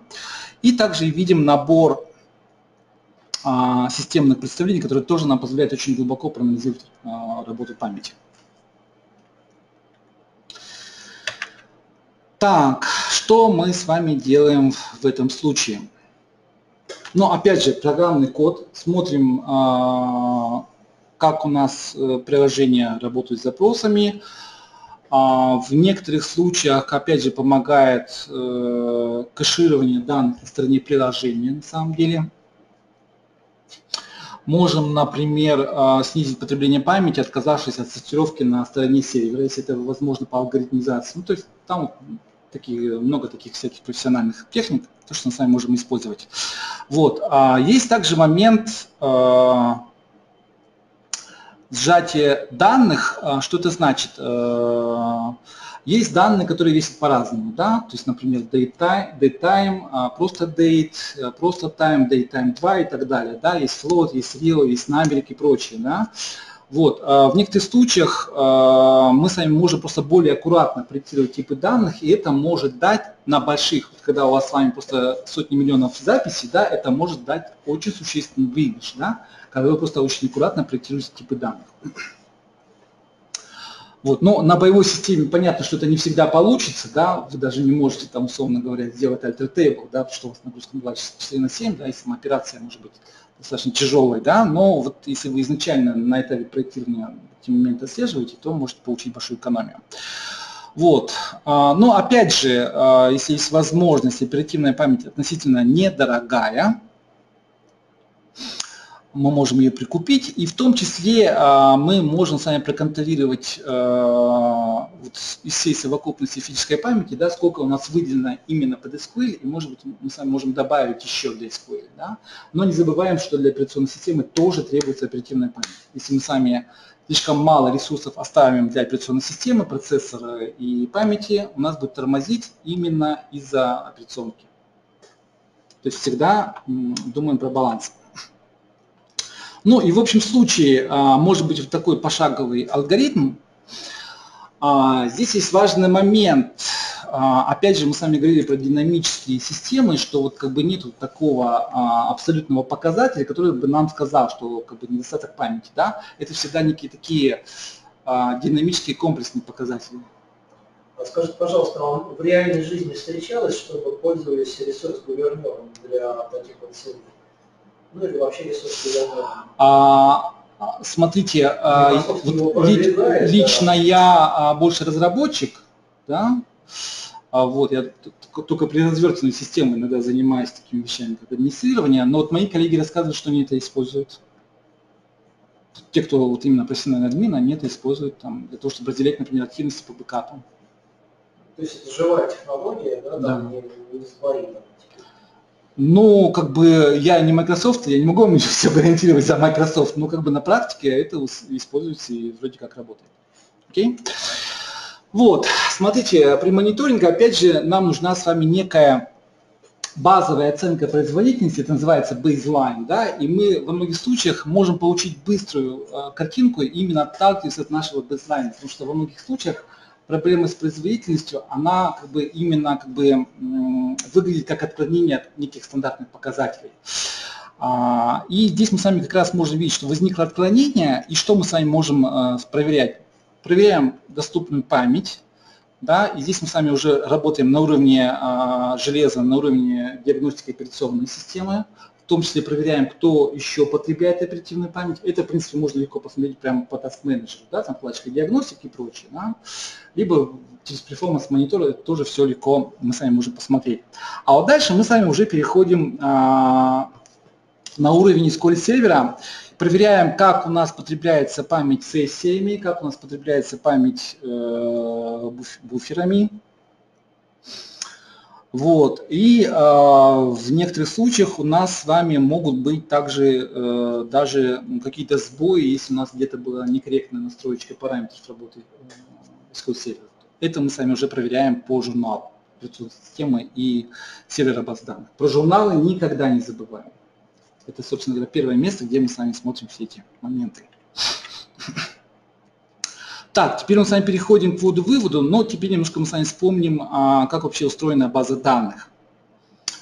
Но логический компонент а, нам здесь не очень пока интересен, да, мы с вами обратим внимание прежде всего на физический компонент. То есть у нас с вами есть группы файлов и сами файлы данных, при этом отделяются файлы данных от журнала транзакций. От журнала транзакций. Вот, почему? Потому что у них принципиально разные активности. А, вспоминаем, что у нас для данных а, есть доступ случайный, то есть у нас, по сути дела, а, требуется, чтобы был прямой доступ, не случайный, да, именно чтение было быстрое, да, а для журнала транзакции там идет последовательная запись, да, требуется, чтобы у вас была быстрая последовательная запись. И, собственно говоря, мы с вами таким образом можем с вами как раз, выбирая правильную конфигурацию аппаратных э, носителей, э, оптимизировать нашу систему. А также мы с вами можем с помощью э, организации групп файлов разбивать наши данные по секциям, можем выносить какие-то отдельные тяжелые таблицы в отдельные файлы для того, чтобы доступ данных был параллельный. Можем выносить отдельные индексы а, в отдельные файлы. Можем э, делать секционирование наших больших баз данных с помощью групп файлов и так далее. То есть вот эти моменты, они все очень важны в плане техники оптимизации ввода-вывода. Вот. Ну и дальше, конечно же, мы сами можем отслеживать э, э, работу со страницами данных, работу со страницами индексов, там, работу с экстентами и так далее. А, но вот сами показатели, которые мы сами получаем через э, э системные представительные процедуры, они как раз обычно используются в качестве единицы страницы ввода-вывода. Да? Мы сами должны как бы, знать, что, не забыть, что страница это 8 килобайт, для того, чтобы все это аккуратно считать. Ладненько, это мы с вами вспомнили, да? А вот здесь вот, исходя из этого, у нас с вами есть принцип размещения файлов баз данных. Самый первый принцип, а, по который тоже иногда забывают, то, что мы с вами должны, во-первых, выделять ресурсы для операционной системы и не должны смешивать нагрузку, да? А, то есть необходимо, чтобы у нас это были отдельные диски, отдельно для операционной системы, отдельно для подкачки, отдельно для самой базы данных. А, еще раз повторяем про то, что должно быть разделение для файлов данных и для журнала транзакций по разным дискам. И также типичное узкое место – это работа временной базы данных. То есть за ней надо тоже постоянно а, наблюдать, как она работает. А временная база данных, она не используется для хранения наших рабочих данных, да, но в ней тоже может быть очень большая нагрузка, и у нее тоже есть журнал транзакций. И вот это тоже может быть очень важным, эффективным решением, когда вы именно ее оптимизируете. Это может повлиять на вашу боевую систему намного лучше, чем если бы вы занимались только оптимизацией боевой системы. Ну и, собственно говоря, как мы с вами говорили, разделение данных и индексов по разным дискам, разделение тяжелых таблиц по разным дискам и секционирование таких больших таблиц. Вот это все классическая техника, то, что связано с размещением данных по дискам. То здесь имеется в виду, что каждый файл находится на отдельном диске, на отдельном шпинделе. Даже если у вас есть рейды, вы делаете такую же вещь с рейдами. То есть только у вас вместо файла будет э, вот этот как бы рейд э, контроль. Да? Вот, если чуть-чуть поподробнее поговорить про системное устройство, здесь я чисто для интереса вывел списки данных, это так называемые системные странички, которые мы с вами напрямую никогда не работаем, но, собственно говоря, нам с вами и не надо с ними работать, это так чисто как бы в плане хакинга, либо интереса можем с вами об этом почитать. Вот. Но а, мы с вами обычно работаем а, со страницами данных, со страницами индексов, со страницами больших объектов, да, там, где у нас хранятся лобы, там всякие э, документы, картинки и прочие бинарные объекты. Вот это нам уже интересно. А, при этом, опять же, вспоминаем, что это все хранится в файлах данных, у нас там сами есть экстенты, и у нас как бы это все может быть перебежно. Есть специальные странички, где это все управляет. Ну, по крайней мере, если вам будет интересно, по этим ключевым словам вы можете найти более полную информацию. Вот, и как раз а, есть такой тип ожидания ввода-вывода async IO completion. Вот когда мы с вами говорили, что ресурс ждет выполнения операции, да, попадает в лист ожидания, waiter лист, да, это значит, что для данной задачи требуется операция ввода-вывода. Мы с вами можем легко это посмотреть именно по данному типу ожидания. Как мы с вами можем анализировать нагрузку на систему ввода-вывода? Опять же, примеры показателей, примеры запросов. Э, в конце я вам просто покажу уже готовые SQL запросы, коллеги, там, где вы просто увидите примеры использования их. Окей? Потому что в конце э, у вас будут примеры боевого кода, как это делается. Вот, опять же, оптимизируем код ввода-вывода, все-таки программист должен ну, немножко задумываться о том, как он обрабатывает данные, зачем он вообще эти данные читает, в многих случаях они просто могут не требоваться пользователю. Да? Это как бы так, грязный код, то, что называется. Да? А, и а, также, конечно же, с помощью индексов и статистики мы с вами можем очень серьезно оптимизировать нагрузку на вот вывод. Да? То есть какая-то а, недостаток индексов, либо просто неактуальная статистика, она приводит к тому, что у нас строится неоптимальный план выполнения. Опять же, на сегодня, помимо традиционных решений RAID, SUN, NAS, э, становятся более популярные SSD решения. А, коллеги, кто-нибудь использовал SSD? Дома, да? Но дома вы заметили разницу, да? Что процессор-то не надо менять. Поставьте SSD, и будет вам счастье. Вот, я помню, когда меня 5400 на 7200, тоже чувствовал разницу, да, диски. Вот, а что вот вывод, это, конечно, очень важный компонент. Вот. И опять же, э, лично я под базы данных SSD не использовал, но мне коллеги рассказывали, у кого-то был очень хороший кейс, а у кого-то был вообще нулевой результат. Потому что там не только вот вывод, как мы знаем, работает, да, то есть значит у него проблема-то в другом месте находится. А, но, по крайней мере, считается, что а, хороший SSD может тоже уже заменять обычный средний рейд, да, не самый производительный. Более того, SSD можно обменять в рейды, да, на мощных контроллерах это уже становится такой достаточно даже экономичным решением, что позволяет сэкономить на рейдах. Вот. Опять же, здесь нам может потребоваться поддержка вендора, потому что много вещей, которые, то, что называется вендор специфик, именно конкретно настройка данного железа. Да? То, что мы с вами должны вместе решать с помощью э, вендоров его технической поддержки. Ну и опять же, не забываем про оперативную память. Если мы с вами видим, что на самом деле вот вывод из-за того, что происходит, из-за того, что постоянно сбрасываются странички, постоянно идет непопадание в кэш, да, просто добавляем оперативную память. Это будет более дешевое решение, чем менять систему хранения данных. Так, не забываем про сетку. Вот как раз мы с вами можем увидеть, что у нас узкое место становится сетевой контроль с помощью данных э, типов ожидания. Sync network. То есть повторяю, что часто это попадает на границы компетенций, да, и э, в эти моменты иногда бывает э, без контроля. Опять же, у нас с вами есть для этого специальные счетчики производительности, и также можно с помощью э, системных представлений хранительных процедур тоже это все можно смотреть. Ну, вот на самом деле на слайдах всегда дается базовая техника, да. Там понятно, что любую технику можно усложнять, она иногда требует э, модификации, вот именно для вашей системы. Но вот с этой базовой техники вы можете начинать. Так, что мы с вами делаем сеткой?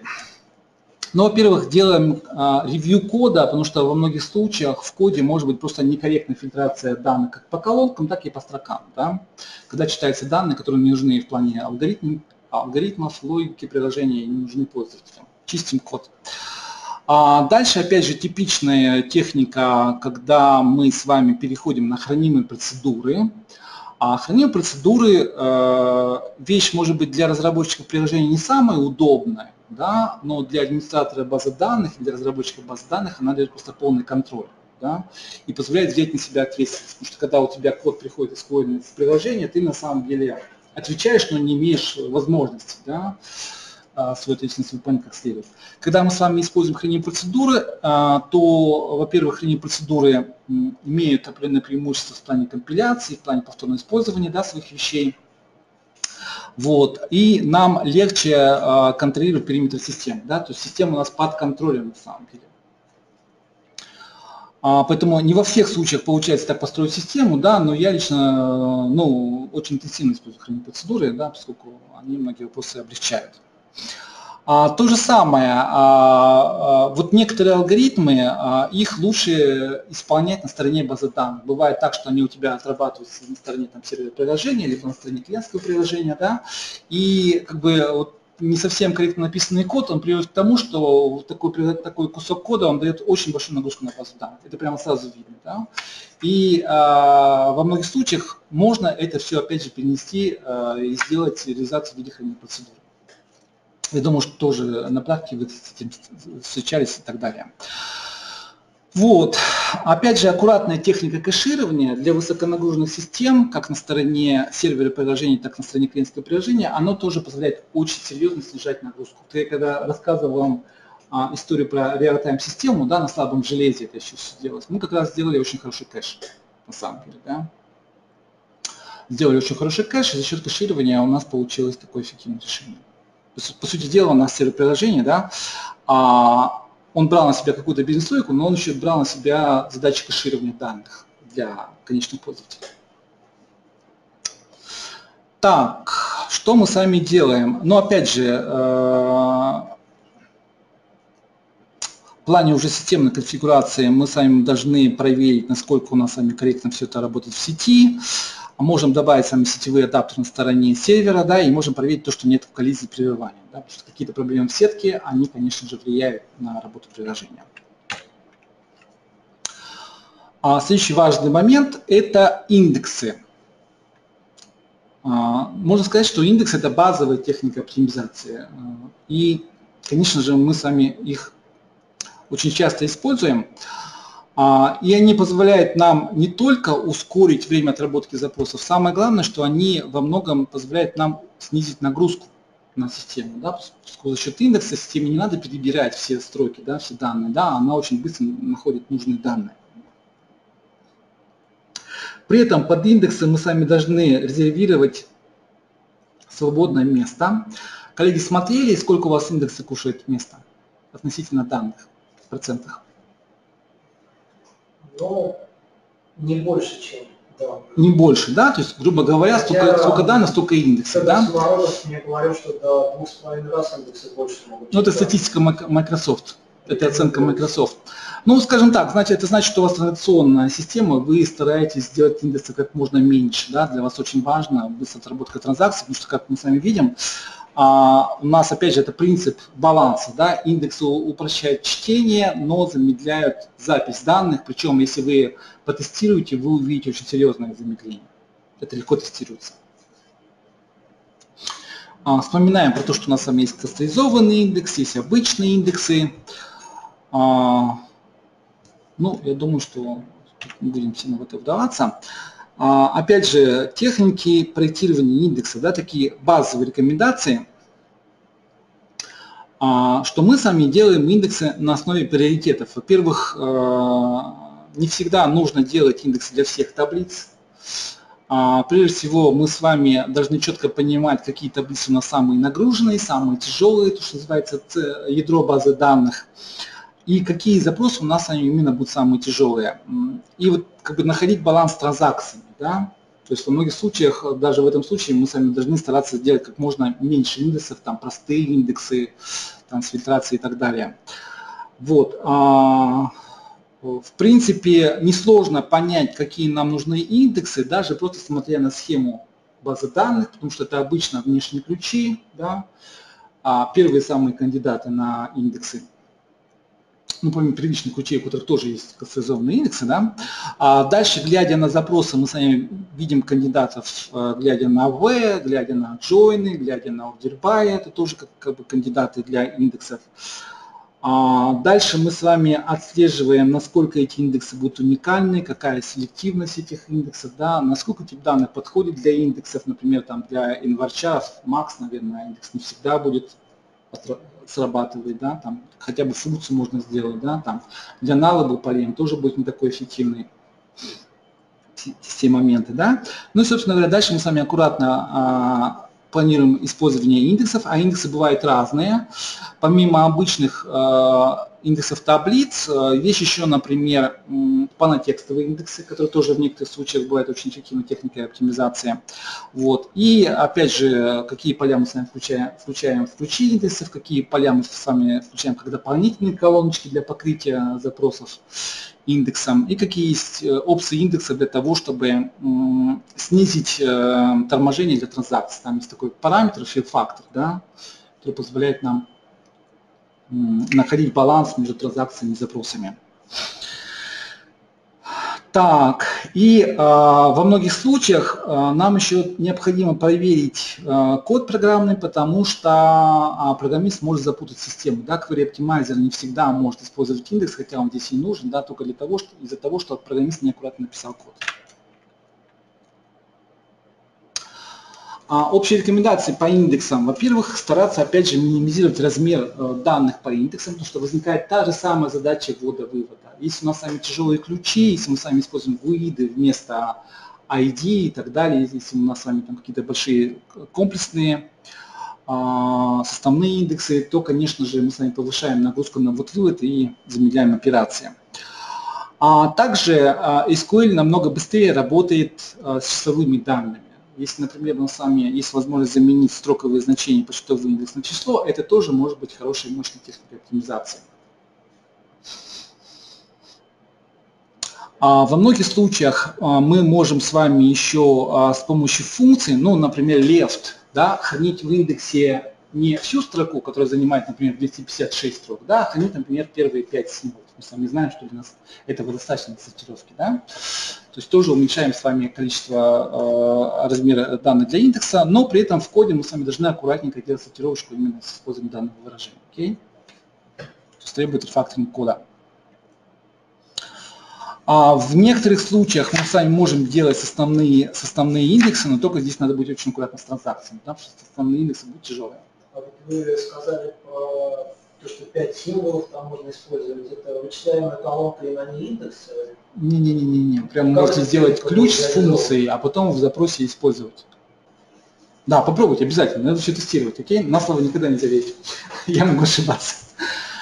Так, ну и дальше есть уже опции, то, что касается maintains, как нам с вами быстрее перестраивать индексы, используя опцию drop existing, да, потому что у нас обычные индексы зависят от кластеризованного индекса, да, и можно при перестройке кластеризованного индекса тут же перестраивать все остальные индексы.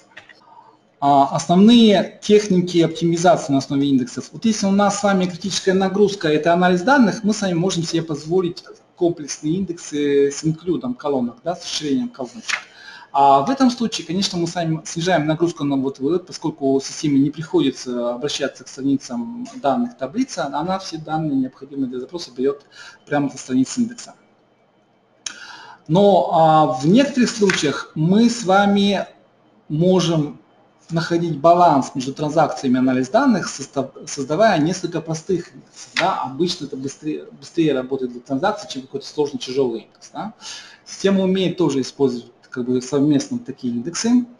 То есть если это нам помогает, замечательно. То есть э, общая рекомендация начинать с простых индексов да, и переходить с основным индексом только в случае крайней необходимости и обязательно тестировать транзакции. То есть в некоторых случаях мы просто не сможем себе позволить основной индекс. Придется находить уже другие архитектурные решения. Вот. А для анализа данных мы также можем с вами использовать индексированные представления. Это тоже вариант э, покрытия запроса индексов, только в индексированных представлениях мы можем с вами индексировать, например, агрегацию, вычисление каких-то показателей, можем с вами индексировать а, данные из разных таблиц, когда нас с вами есть джойны. То есть тоже мощная техника для анализа данных. Но в LTP-системах, конечно, ее использовать не рекомендуется, это больше для хранилища техника подходит. Либо же у вас есть специальная таблица для анализа данных. Да? То есть есть боевая таблица для транзакций, делайте отдельную таблицу, например, для анализа. Там, пожалуйста. То есть у вас там нет транзакции, у вас там есть пакетная загрузка данных. Да? Такой режим может быть.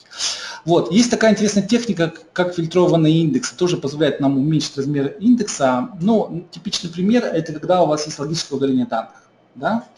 То есть и вы хотите, чтобы в боевом а, индексе у вас не попадались вот эти логически удаленные записи, тоже позволяет нам оптимизировать данные.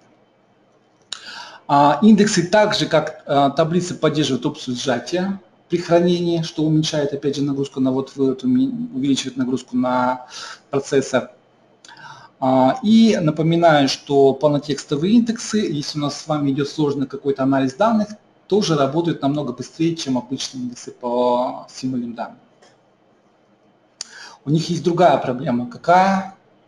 они не синхронные. Да, они делаются синхронно. Если вам нужен реал-тайм, то тогда, сори, это будет проблемой. Так, ну и для анализа данных, для хранилищ можно использовать колоночные индексы, которые как раз оптимизированы для больших массивных а, агрегаций, для больших выборок данных. Как раз здесь важный э, момент понимания нагрузки данных – а, либо у нас с вами база данных транзакционная, там, где идут постоянные изменения данных, там, где у нас для индексов возникает проблема с высокой дефрагментацией. Вот. В этом случае мы с вами должны добавлять э, для индексов фил-фактор, э, да, резервировать свободное место. А при этом у нас с вами будет дерево индексов распухать, соответственно, селектор будет немножко притормаживать, зато не очень сильно будет тормозить транзакции. Находим баланс. В хранилище данных, наоборот, там э, транзакции обычно не бывает, там есть пакетная загрузка новых данных, там, например, рассудки. Вот.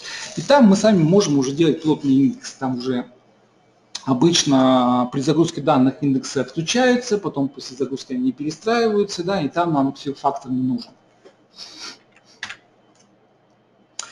Еще есть э, важный момент э, понимание, э, как не надо писать запросах. То, что называется затемнение кода. А, Во-первых, обратите внимание, что даже если вы пишете запрос и хотите, чтобы у вас работал индекс, не во всех случаях он будет работать в зависимости от тех выражений, которые вы пишете, например, в where. Да? Вот такие операции, как равно больше, а, меньше, in, between, like с префиксом, как бы больше равно, они а, работают с индексом, да, то есть они будут ускоряться. Если мы с вами напишем not, напишем не равно, да, напишем более сложный like, ну, либо not in, у нас индекс не будет работать. Во многих случаях мы с вами можем от таких операций да, избавляться. То есть называется заменить негативную логику на позитивную. Okay? А, есть мнение, что оператор exist быстрее выполняется, чем оператор in. Зависит от, от query оптимайзера. Вот я просто тестировал запросы ну, с разной техникой, да, и заметил такую вещь, что в 2008-2012 SQL там прямо разница заметная, да, а вот, например, в 2014 разница была 50 на 50. Зависит от query optimizer, окей? Okay? Ну, то, что я тестировал. Но вы же понимаете, что главное для SQL понять семантику. Ему же не важно, что вы написали. Поэтому, на мой взгляд, а, если query optimizer выдает одинаковый результат, значит он работает лучше. Он меньше зависит от синтезиса, да, потому что он понял, что мы хотим. Окей? Так, ну и дальше смотрите, э, я не знаю, сколько здесь подробно надо как бы рассказывать. Есть как бы антипаттерн, как не надо писать код. Да? Есть пример, как вы должны переписать код так, чтобы у вас все-таки колоночка была как бы отдельно да, от выражения. То есть старайтесь всегда поле таблицы выносить из выражения. Это иногда усложняет код. да, но зато Query Optimizer сможет вам помочь. Вопрос. Ускорит ли э, выражение, если колонка nullable, если я разделю, э, там, допустим, имя колонки из null, ора, имя колонки равно какому-то значению? Профессиональный ответ надо тестировать. Okay. Я своих слушателей учу так, не гадайте, я вас спрашиваю, когда про какой-то вопрос, да, да, быстренько напишите тест. Тестирование показывает, что да, но хочется понять, почему. А, ну, вот если вы напишите код, либо мне пришлете, да, но без кода очень тяжело обсуждать, окей? Я, честно говоря, даже визуально не очень успел у себя в голове понять ваш запросик, окей? Если два разных запроса, получается у нас э, одинаковый план выполнения запросов, визуальный план, ага. генерируют, будет ли на выходе один и тот же результат у нас? К сожалению, производительности? Да. То есть вы имеете в виду операторы одинаковые, да? Да. Но там же может быть стоимость разная на самом деле, да? Ведь? И все идентично. Все идентично? Как разные запросы, но все идентично. А, но в общем случае они должны быть одного уровня производительности, мне так кажется. Я могу ошибаться, коллеги, уточните своего опыта. А вот стоимость это вообще какая-то вещь в себе, потому что вот э, четыре запроса одним патчем я послал, да, да. самый длинный запрос там 3 минуты исполнялся, самый короткий э, там 2 секунды. И показалось, что самый длинный запрос он по стоимости был меньше всего. А... Откуда он берется, эту стоимость? Ну, смотрите, смотрели, вот вы вот смотрели блокировки. Ну, да, посматривали.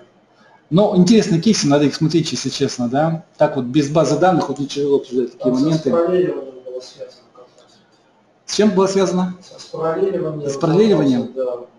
Но в некоторых случаях исправление даже оно не повышает э, производительность, а даже как бы снижает ее. Microsoft там пишет прям рекомендации, как отключить исправление. Так, спасибо, коллеги, за комментарии. Но я думаю, что примеры понятные, да, я не буду их пересказывать.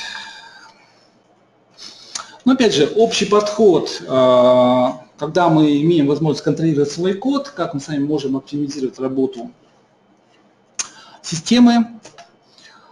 А, вначале мы с вами а, находим области, да, находим подозрительные места в нашей системе, да, там, где мы с вами видим какую-то перегрузку, находим источники, причины таких перегрузок.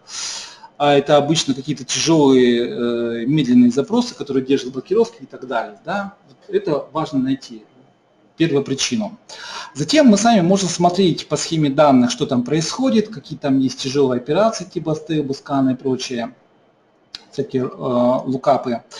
Вот, смотрим статистику с помощью динамических представлений, смотрим сам код а, и анализируем сам запрос, какие варианты можно писать. А, в SQL забавная штука, что а, одну и ту же задачу можно решить вообще-то по-разному. Да? То есть два программиста, ты им даешь одну задачку, да? там написать какой-то анализ данных, они тебе напишут разные SQL. Да? И а, во многих случаях вот эта разная техника SQL, она действительно влияет да, на перформанс. Ты просто сравниваешь эти запросы, и какой-то запрос бывает лучше. Причем ты даже не всегда можешь понять, какой, потому что там еще зависит от индекса. Да? На одной настройке базы данных у тебя такая техника срабатывает, да, на другой настройке базы данных у тебя такая техника срабатывает. То есть все надо мерить, да, это принцип. Вот, дальше мы с вами уже делаем более такой глубокий анализ, как работают индексы, как у нас работают сами джойны, да, а, и уже можем как раз анализировать блокировки транзакций, которые тоже а, часто бывают критическим фактором производительной системы. То, что называется система холодная, да, но стоит. Как бы нагрузки нет, но при этом пользователи а, ждут выполнения их запросов. Да? Также важная техника на основе бейзлайна, базовой линии оценки, когда она у нас есть, она нам очень помогает находить быстро первую причину, потому что отклонение от бейзлайна это как раз есть, собственно говоря, сигнал. Да? И мы с вами можем как раз оценивать, оценивать выполнение запросов по этой статистике. Что такой запрос, работа, работа, работа, все нормально, да?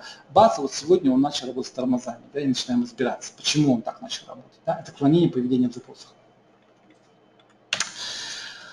Так, а, по планам выполнения, а, вот на самом МСДН там, честно говоря, не очень хорошо изложено, но на разных форумах есть целые книжки про планы выполнения, то, что можно спокойно поизучать. Мы с вами обратим внимание на классику. А, вот лично я не трачу много времени на чтение планов выполнения, потому что я много смотрю там тех же динамических представлений, да, я много смотрю на код, вот, поэтому, если честно, для меня план выполнения такая быстрая превью да, я быстренько на нее смотрю, и дальше уже я анализирую код и статистику. Вот. Но, тем не менее, конечно, надо основы знать. Для нас, конечно, прежде всего интересны операторы чтения данных, то, что касается как таблиц, так и индексов. А, причем есть такие массивные операции, да, так называемый скан, да, table скан, индекс скан. Вот. А есть точечные операции, которые, в принципе, должны быть легкие. Да? Там keylookup, там, либо индексик. И как только мы с вами видим тяжелые массивные операции, у нас с вами тут же срабатывает рефлекс. Да? Ну-ка, ну-ка, что здесь происходит? Да? Вот. В некоторых случаях все нормально, на самом деле. То есть это тоже не абсолютный такой аларм, да, но как бы всегда тут надо быть внимательным. Да? И отдельный вопрос, как у нас с вами происходят джойны, какая там может быть техника а, и как у нас с вами происходит сортировка. Это как бы вот именно те основные а, операторы, на которые я обращаю внимание. Но у меня, опять же, мой стиль как бы, оптимизации, мой стиль разработки, я его не навязываю, просто делюсь своим опытом. Дальше вот здесь как раз а, кратко мы с вами можем обсудить, что значит каждый оператор и что можно с этим делать. А, как мы с вами говорили, table scan – это подозрительный оператор. Да? Возможно, что программист читает ненужные данные, возможно, что у нас с вами просто нет, не хватает индекса для данного запроса. Вот. Но при этом, если у нас с вами таблица небольшая, это может быть самая быстрая операция. И даже если мы с вами построим для небольшой индекс, э, таблицы индекс, он не будет использоваться, потому что он будет просто дороже. То есть у индекса тоже есть некая такая пороговая, пороговый уровень объема данных, когда действительно его стоит делать. Ну, если мы сами видим, что для этой таблицы приоритетнее, например, какие-то инсерты, если это, например, логи, да, а, то я не буду добавлять индексы, да, потому что я четко понимаю, что для анализа данных я потом эти логи переношу в хранилище, в ALAP, где угодно, и там, пожалуйста, там же можно делать тяжелые аналитические запросы. То есть вы здесь четко должны понимать приоритеты выполнения операций. Да? Вот. Если у вас э, в таблице есть кластеризованный индекс, то э, вместо table скана вы будете видеть clustered индекс скан, но по сути дела это тоже массивная операция. И здесь мы с вами будем уже анализировать запрос, насколько там корректна фильтрация данных. Если мы с вами видим а, операторы key lookup либо read lookup, а, это значит, что в индексе не хватает всех данных, то есть в запросе еще читаются те данные, которых не хватает в индексе. И мы с вами опять же смотрим, а, стоит ли нам добавлять эти данные в индекс. Это тоже вопрос баланса, да, приоритетов операций транзакций либо запросов. Вот, насколько эта операция для нас стоит по поводу вывода и так далее. Вот операция sort, я люблю ее на стороне сервера убирать. Как только я вижу операцию order by на стороне сервера, да, я думаю, а могу ли я ее убрать? Потому что а, если это не влияет на алгоритмику, да, то операцию sort спокойно может сделать само клиентское приложение. На самом. Да? Вот. Но во многих случаях сортировку приходится делать на стороне сервера, да, но я ее делаю только в случае необходимости. Потому что, в принципе, это тяжелая операция. Ну, либо нам придется создать индекс. На больших таблицах сортировка может просто э, запрос э, в тайм-аут выкидывать. А, ну, а если мы с вами видим индексик, то само по себе это все хорошо. Если у нас еще с блокировками все хорошо, можно впить спокойно чай или кофе. Вот. Индекс скан тоже вопрос, э, потому что надо тщательно смотреть на запрос, насколько действительно оправданы там чтение таких больших данных. Но вообще понятие транзакционных э, баз данных, это значит, что там должны быть маленькие легкие запросы, там не должно быть массивного чтения данных, да, и там должны быть быстрые транзакции. Вот что такое классическое LTP. Как только вы видите какие-то массивные чтения данных, это значит, что там делается анализ данных, да, и анализ данных лучше выносить в LTP в DVH. То есть всегда можно рядышком поднять другую базу данных да, и как бы обеспечить актуальность данных.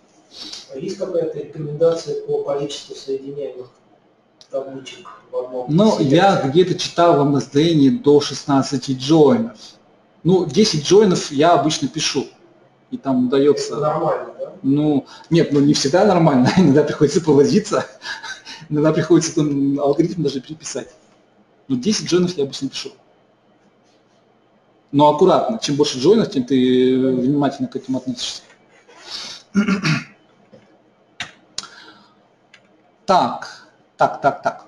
А, немножко поговорим про а, джойны, как они отрабатываются, опять же, в операторах а, в плане выполнения. Тут, во-первых, обратите внимание, а, какой оператор выбирает Query Optimizer. Это зависит, во-первых, от статистики, какой у нас объем данных будет участвовать в соединении. И это э, зависит от предиката э, связи. Обычно мы с вами делаем соединение данных э, по внешним ключам, foreign key, да, и обычно мы сами используем равенство. Здесь у нас с вами простой предикат соединения, то здесь Query Optimizer постарается оптимизировать наш запрос, а он сможет использовать либо мерж для больших данных с предварительной сортировкой данных, либо он будет использовать хэш, если у нас одна табличка небольшая, да, вот, и это может работать достаточно приемлемо по скорости. А вот если у нас с вами а, предикат соединения сложный, там несколько выражений, там есть неравенство, есть функции, а такие иногда джойны тоже есть. Ну, я имею в виду join в широком смысле, это cross-apply, это может быть и подзапросы всякие, да, соединенные. Вот, то в этом случае, конечно, надо быть тоже внимательным и проверять, как система работает под боевой нагрузкой. А, опять же, есть э, э, разница в производительности, если join простой или left join. Но считается, что inner join работает быстрее. То есть query optimizer ему легче оптимизировать. Самый главный момент, я когда смотрю, пишу на, смотрю на код, да, если я вижу, что люди везде пишут left join, это для меня значит, что они не очень внимательно читают схему данных. Потому что по схеме данных ты видишь, что иногда left join вообще бессмысленно. Okay? Схема данных. Так, еще есть важный момент, статистика. Вот именно на основе статистики uh, Query Optimizer uh, выбирает uh, для сложных запросов оптимальный план выполнения. Простые запросы на самом деле не выполняются по тривиальному плану выполнения, который сразу же строится. А для сложных запросов нам статистика важна. Статистика всегда строится, когда мы с вами создаем индекс, а также статистика строится, когда у нас с вами а, Query Optimizer находит, что ему недостаточно статистики, он может тут же на лету ее построить. И это может быть дорогой операцией на самом деле. То есть некоторые такие как бы то, что называется холодный старт, да, связан с тем, что Query Optimizer вначале не хватает статистики, он ее как бы строит вначале. Да. А, вот. А, статистика может обновляться автоматически, это, скажем так, не сильно нагруженные базы данных. Почему? Потому что обновление статистики э, влияет на планы выполнения, они будут перекомпилированы, да, те, которые связаны с этой статистикой. Поэтому в высоконагруженных базах данных рекомендуется самим очень внимательно следить за статистикой да, и очень аккуратно ее перестраивать палка о двух концах. С одной стороны, статистика может приводить к неоптимальному плану выполнения, да? с другой стороны, обновление статистики приводит к тому, что у нас сбрасываются планы выполнения и тратится время на их повторную компиляцию. Здесь надо опять же все смотреть. Но в некоторых случаях это бывает очень серьезно, да, неактуальная статистика, либо недостаточная статистика, это может быть очень серьезно. Как связано статистика э, с компиляцией процедуры? Я про это и говорю. Как только вы обновляете статистику, у вас сбрасываются планы выполнения, которые построены на этой статистике. И они будут заново компилироваться. Об этом и речь, да? Это тот побочный эффект обновления статистики. Компилирована э, процедура у них, когда статистика не обработана. Будет ли план запроса неверный? А он всегда не идеальный, коллеги. Это опять же иллюзия, да? Он всегда не идеальный. Okay? потому что у нас постоянно разная нагрузка а, на железо, да, разный объем свободной памяти оперативной, да, разные блокировки и так далее, да, разные параметры. То есть вот как бы мир не идеален. Вы сказали, что э, SP Update Stats, она заставляет перекомпилироваться все хранимые процедуры? Она не заставляет перекомпилироваться, она сбрасывает кэш, и при следующем запуске у вас будет э, время ожидания из-за компиляции.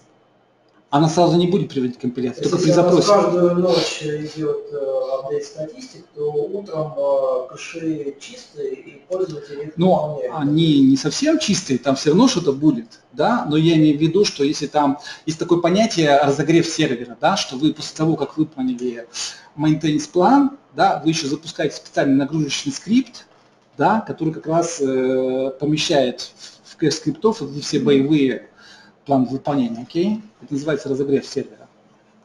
Это может быть дополнительный э, шаг в вашем maintenance плане.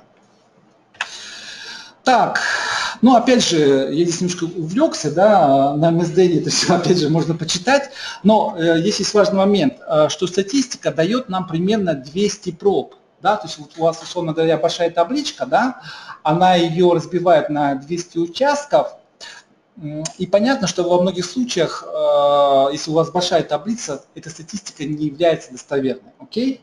Но зато э, как бы мы с вами получаем очень быстрый механизм, иначе идеальная статистика приводила бы к тому, что query оптимизация был бы медленнее. Да? Это опять же баланс между не идеальным, но быстрым построением статистики плана выполнения, да, и то, что у нас остаются ресурсы на бизнес как бы, задачи. Окей? Так, а, в некоторых случаях а, мы с вами для высоконагруженных систем, а, вот анализируя планы выполнения, видим, что почему-то query optimizer начинает себя странно вести, и вот именно для того, чтобы подсказать ему более оптимальный план выполнения, можем делать с вами статистику. Окей? Вот, если кто-то использовал э, Tuning Advisor, то можно от него получать рекомендации. А, не понравилось, да, Tuning Advisor? А, ну, опять же, разные отзывы. А, при аккуратном использовании он может давать хороший результат, особенно при экспресс тюнинге, да, на каких-то не очень критичных системах, да. Это, знаете, это называется такая, как бы, система думает за тебя, да. То есть в простых случаях я считаю, Слушай, что... много индексов дает, рекомендую строить, и это... Ну, ребята, во-первых, а, Tuning Advisor – это же тоже вариант, который дает нам для тестирования. То есть мы с вами э, должны сделать хорошую нагрузочку, прогнать на тестовом сервере, а, оценить, которые рекомендации надо Tuning Advisor, да, принять решение, что эти рекомендации мы с вами используем, эти нет, и потом еще раз протестировать результат конечный, да, а какой мы с вами получили результат. Если плохо, то мы откатываем с вами всю, всю оптимизацию, окей? Если результат нас не удовлетворил, мы с вами откатываем всю транзакцию. То есть там тоже есть как бы итерации на тестирование. А, так, ну, опять же, корреляцию данных мы с вами можем э, с помощью статистики, чтобы план Query Optimizer а- отрабатывал корреляцию данных, можем делать, да? Либо же почему-то у нас статистика не построилась автоматически. А при мониторинге мы с вами также можем посмотреть, э, насколько у нас статистика э, может устаревать. Это, кстати, видно сразу же, если мы с вами видим, что оценочные и актуальные планы расходятся. Да, это первый признак того, что у нас статистика устарела. Вот. А если мы с вами отключили режим автоматического обновления статистики, да, а так иногда приходится делать, то здесь мы с вами просто должны продумать, какой регламент будет у нас для того, чтобы как часто нужно все-таки статистику обновлять, либо же смириться тем, что у нас определенный период времени будет статистика устаревшая. То есть опять же находим компромисс. Он не при перекомпиляции процедуры или первом выполнении, при первом выполнении, да, либо там есть команда ее предварительной компиляции. Рекомендации написанию кода с тем, чтобы, скажем так, он создался запросов, потому что есть случаи, когда он не создается, возникает эффект перекомпиляции. Например, так называемый параметр спруфинг. Вот, например, этого избежать нужно еще какие-то другие. Параметр спруфинг легко понять. А вот остальные может, нюансы есть. Ну, смотрите, а, тут э, так вот сходу я просто не помню все эти моменты, да, но в принципе есть э, два момента. Во-первых, влияние статистики, да, и влияние параметров, то, что вы говорите, да. Вот. Э, Но, честно говоря, из моего опыта вот на такие вещи обращаю внимание.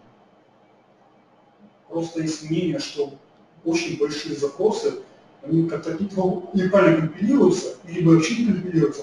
Суть в том, что параметр UFA compile, он ни- никак не меняет выполнение запроса. Вот это, да? Ну да, но там при вызове можно, конечно, еще использовать exec, recompile. Пробовали такие варианты? Ну, не влияет никак.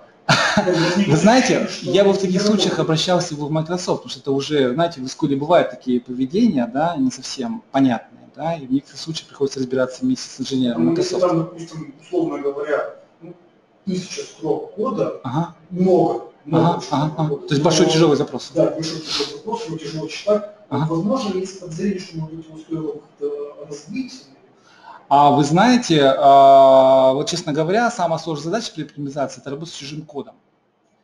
Да? И, честно говоря, это тоже важный момент. И я, когда анализирую чужой код, я, конечно, его разбиваю на кусочки, потому что так его не понять. То есть я так и делаю, собственно говоря. Да? И в этом случае вы можете понять аномалии в поведении query да, почему он, например, так начинает себя вести. Да? А, вот. Это сложный момент анализ чужого кода. Рефактная чужая система. Так, так. А, ну вот теперь мы с вами переходим, собственно говоря, уже к технике диагностики. А, а, то, что я постоянно использую, то, на чем я строю свою технику оптимизации, это Dynamic Measurement Object, да, управляющие объекты. Это у нас представление и функции есть. Ну, также есть набор также хранивых процедур, которые можно использовать, но в современных версиях мы с все, все больше приходим именно на, на демо. А, в демо есть много аспектов а, анализа работы системы. А с точки зрения производительности нам, нам прежде всего интересно вот это ядро, то, что у нас темно-синее, да, там базы данных, execution, текущая нагрузка, работа индексов, вот вывод, э, SQL OS, это как именно системный ресурс, да, и transaction, да, это именно основные. А если вы используете CLR, либо репликацию, либо другие моменты, вы можете также дополнительно у себя в регламенте добавлять вот эти представления. Но это вот основные классы представлений. А, еще Microsoft предлагает определенную идеологию, я бы сказал, а, оптимизации. Она мне напоминает метод Шерлока Холмса. Помните дедуктивный метод? Да? Что мы с вами всегда должны контролировать контекст. Мы с вами должны сначала понять, как работает наша система в целом, с учетом сети, должны понять, как работает наш сервер, с учетом железа, да, с учетом работы других приложений. Потом мы уже с вами переходим к анализу работы именно Database Engine, ядра базы данных, да, собственно говоря. Затем мы с вами уже переходим на уровень базы данных, транзакций и запросов. Да. В жизни, конечно, когда мы сами делаем оптимизацию на бегу, мы сами обычно работаем на уровне транзакций либо запросов, да, но в сложных случаях это может приводить к слепой оптимизации, да, что здесь оптимизируем, потом здесь и так далее, не получаем корректного результата из-за того, что есть какие-то внешние серьезные факторы. Так что метод Шерлока Холмса, я его так называю. Вот. И опять же классические факторы, э, которые типично являются причинами, почему у нас система не оптимально работает. Прежде всего это индекс и статистика. Дальше, собственно говоря, сами запросы. А, ну, четвертый фактор, он во многом вторичен, да, от э, предыдущих факторов. А, пятый фактор блокировки, взаимной блокировки, это опять же вопрос кода, как э, написали код. Шестой фактор – это насколько мы сами грамотно реализовали, на каком уровне мы сами реализуем алгоритмику. В некоторых случаях ее лучше делать ближе к базе данных, в некоторых случаях ее лучше выносить на сервер приложения, а, либо на клиент. А, ну и, конечно, есть такой интересный момент – это дизайн базы данных. Да? Вот, а дизайн базы данных, он прежде всего влияет на, пони на понимание базы данных, как она устроена, какой принцип был заложен, какие принципы были заложены в проектировании базы данных, как она сделана вообще. Да? А, я говорю даже не только про уровень нормализации, да, а, но именно то, на то, насколько проектировщик э, закладывался, например, на то, что будет хранить процедур, да, либо будет прямой доступ ad hoc, как называется, да, а, вот. И в некоторых случаях ну, база данных просто не поддается оптимизации без того, чтобы не сделать некий рефакторинг, да, что-то не поменять имя в схеме данных. И это не всегда так страшно, как может показаться. Приходилось заниматься рефакторинг боевой системы. Да, если делать это все очень аккуратно, то это вполне вариант рабочий. Опять же, обращаем внимание на фрагментацию не только индексов, но и на фрагментацию самих файлов данных на дисках, то, что называется обычная фрагментация шлемной операционной системы. А некоторые планы выполнения, некоторые индексы нам просто могут быть не нужны и просто занимают э, место в памяти и тормозят наши транзакции. Вот обращаем внимание на ненужные для нас ресурсы. Также можем обращать ваше внимание на частую перекомпиляцию, то, что опять же связано либо с статистикой, либо с, э, с, э, с какими-то опциями кода. А, вот, очень аккуратно используем курсоры.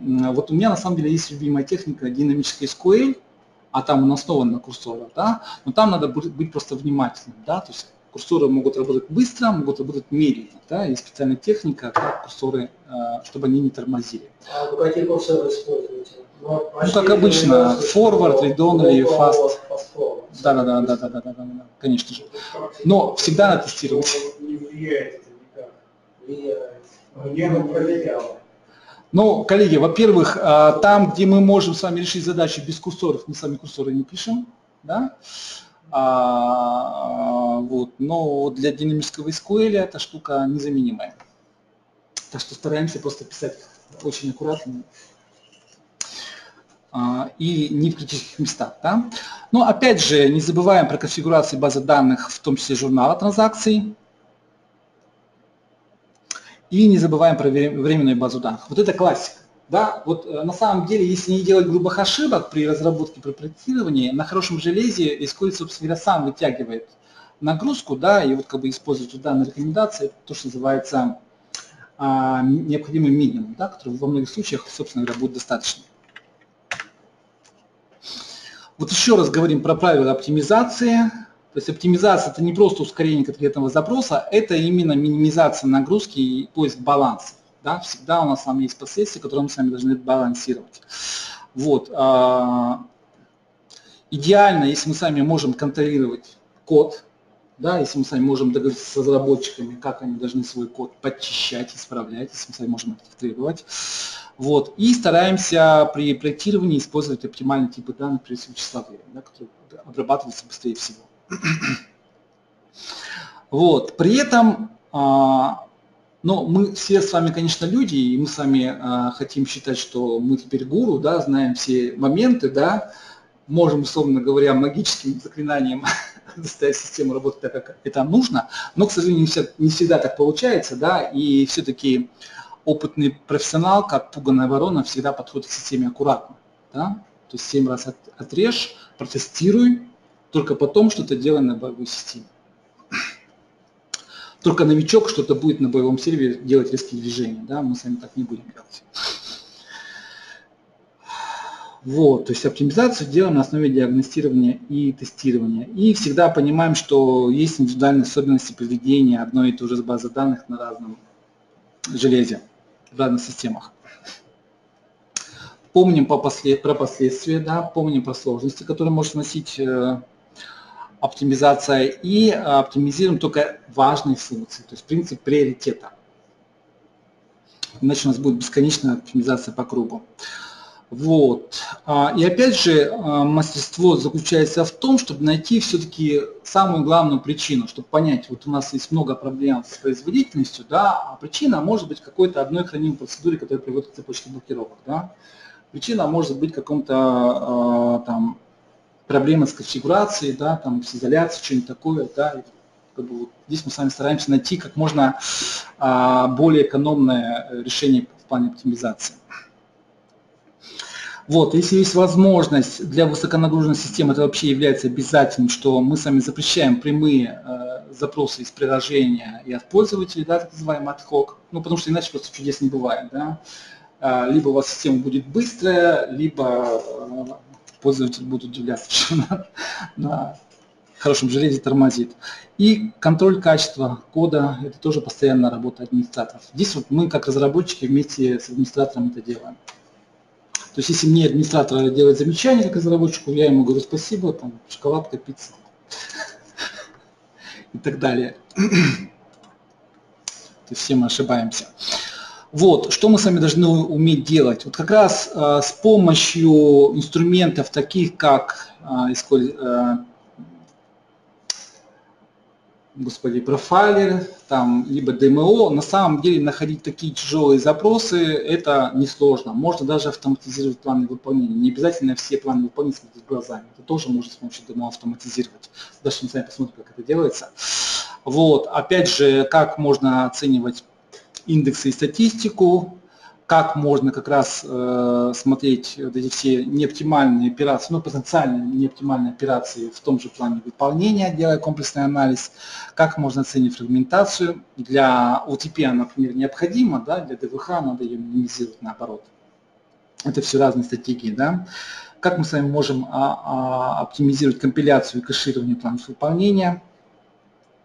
Ну и а, Опять же, очень важный момент – это блокировки, да, уровни изоляции, блокировки транзакции, то, что э, напрямую связано с разработкой. Курсоры и сам регламент, да, как мы сами это все делаем. А, ну и, собственно говоря, вот он баланс. Как мы с вами говорили, а, оптимизировать можно бесконечно, но мы с вами должны понять, какой уровень нам нужно а, производительности и насколько мы должны, можно с вами вложиться не только в железо, но и в наше рабочее время привлечение каких-то специалистов. Да? То есть баланс между производительностью и стоимостью.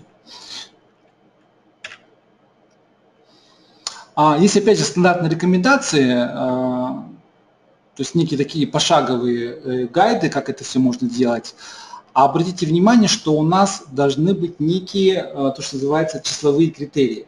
Да, это опять же делается на основе бейзлайнов, то есть неких там собранных реальных данных статистических, которых мы считаем, что это приемлемый, нормальный уровень работы нашей системы. Да? Вот после этого мы с вами можем э, говорить о критериях. Да?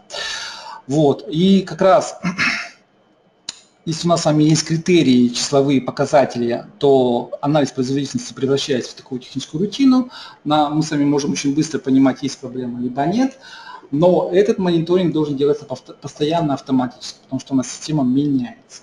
Нагрузка меняется, поведение системы тоже меняется. Пришел сервис пак на Windows, либо на SQL. Что у вас будет дальше, неизвестно. Да? Надо быть постоянно готовым.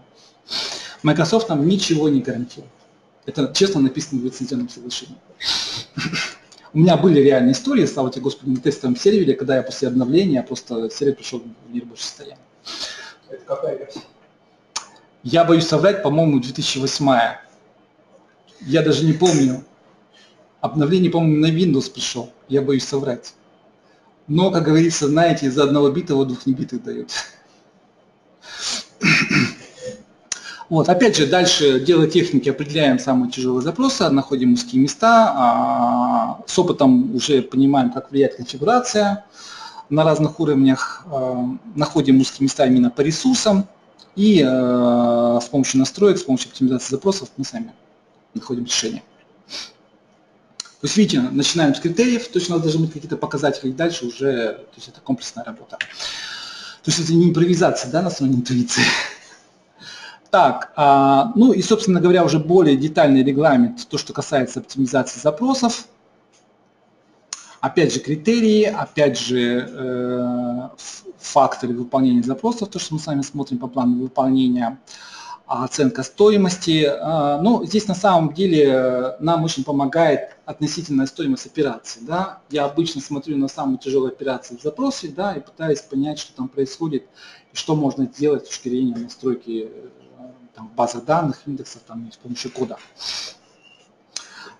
Вот. И дальше мы с вами э, выполняем попытки оптимизации, а потом делаем измерения. То есть вот эта операция да, очень важна. Да? Получили улучшение, если нет, то отменяем изменения, потому что любое изменение – это потенциальное усложнение и деградация других аспектов. Да?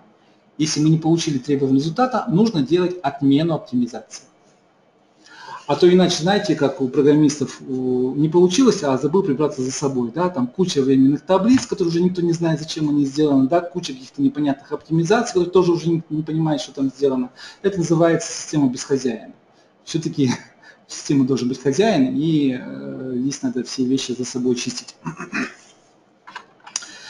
Так, ну и вот, мы с вами подошли, собственно говоря, уже а, к инструментам мониторинга. Это, собственно говоря, а, моя практика которую я сейчас развиваю по оптимизации, а, что так же, как у нас с вами есть maintenance план, там, где мы с вами делаем бэкапы, представление индексов и прочие такие вещи, у нас с вами а, должен быть регламент по диагностике и мониторингу. На самом деле есть продукты, я думаю, что вы их знаете, есть э, регламенты по мониторингу, как у Microsoft на уровне SCOMA, да, есть регламенты, которые вы можете покупать у других компаний для разных баз данных. Но, в принципе, мы сами можем сделать для регламент э, тот, который удобен нам, собственными руками. Тут ничего не сложно. Я лично в регламенте выбираю следующие аспекты. Я отслеживаю конфигурацию, то есть я слежу за тем, что менялось, да? Начиная с аппаратного обеспечения, заканчивая параметрами сервера и там, параметрами баз данных. Да? там, размер логов, свободное пространство, все такие вещи. Да?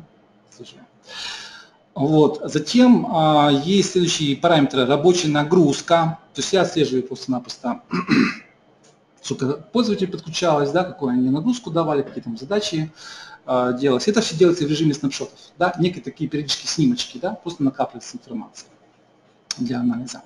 Вот. Затем есть специальные а, запросы как раз с помощью ДМО, которые позволяют мне а, искать а, узкие места, причем не по конкретному запросу, а я сразу же решаю класс задач. Okay? То есть я сразу получаю всю картинку по всему серверу.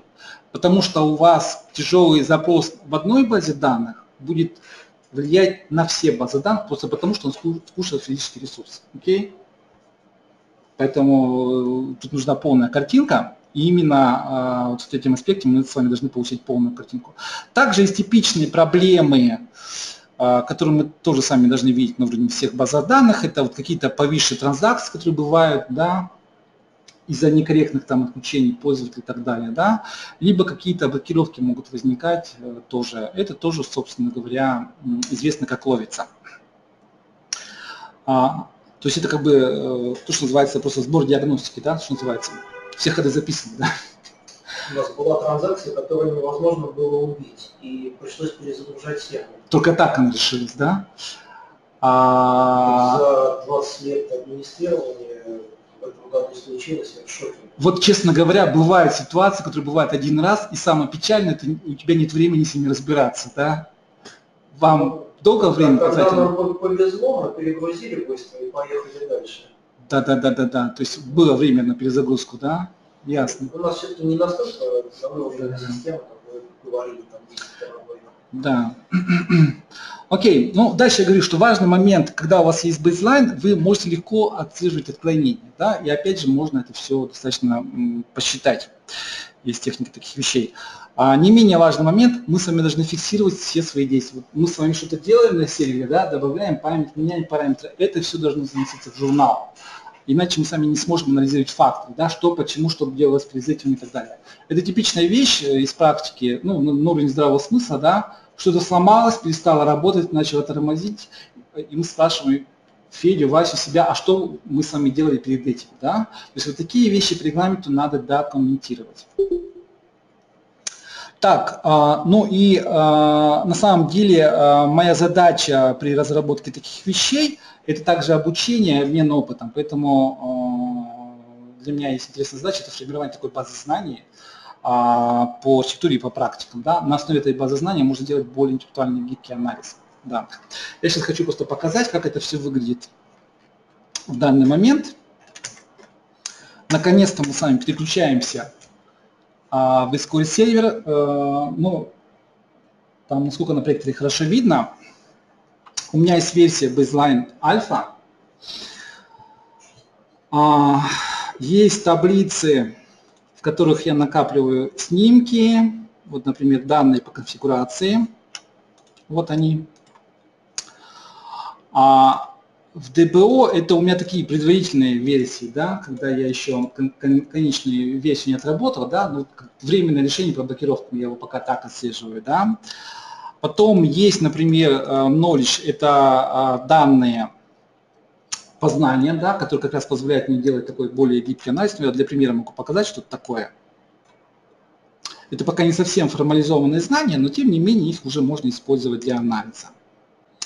То есть я нахожу разные источники, и на MSN, и не на, не на MSN, разбираю типы вот всех разных объектов системных, да, а, какая-то их используется классификация, какое-то их используется описание, какие-то используются рекомендации по этим вещам, как раз для того, чтобы потом делать такой более автоматизированный типтуальный анализ.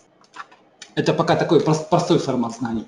Вот. А, дальше метаданные для приложения, то есть я еще разрабатываю приложение для анализа, потому что ну, это очень большой объем информации, да, и вот, честно говоря, с помощью SQL здесь можно умереть, это все делать анализ, да, несмотря на то, что есть заготовочки, тем не менее трудоемкие вещи. Вот.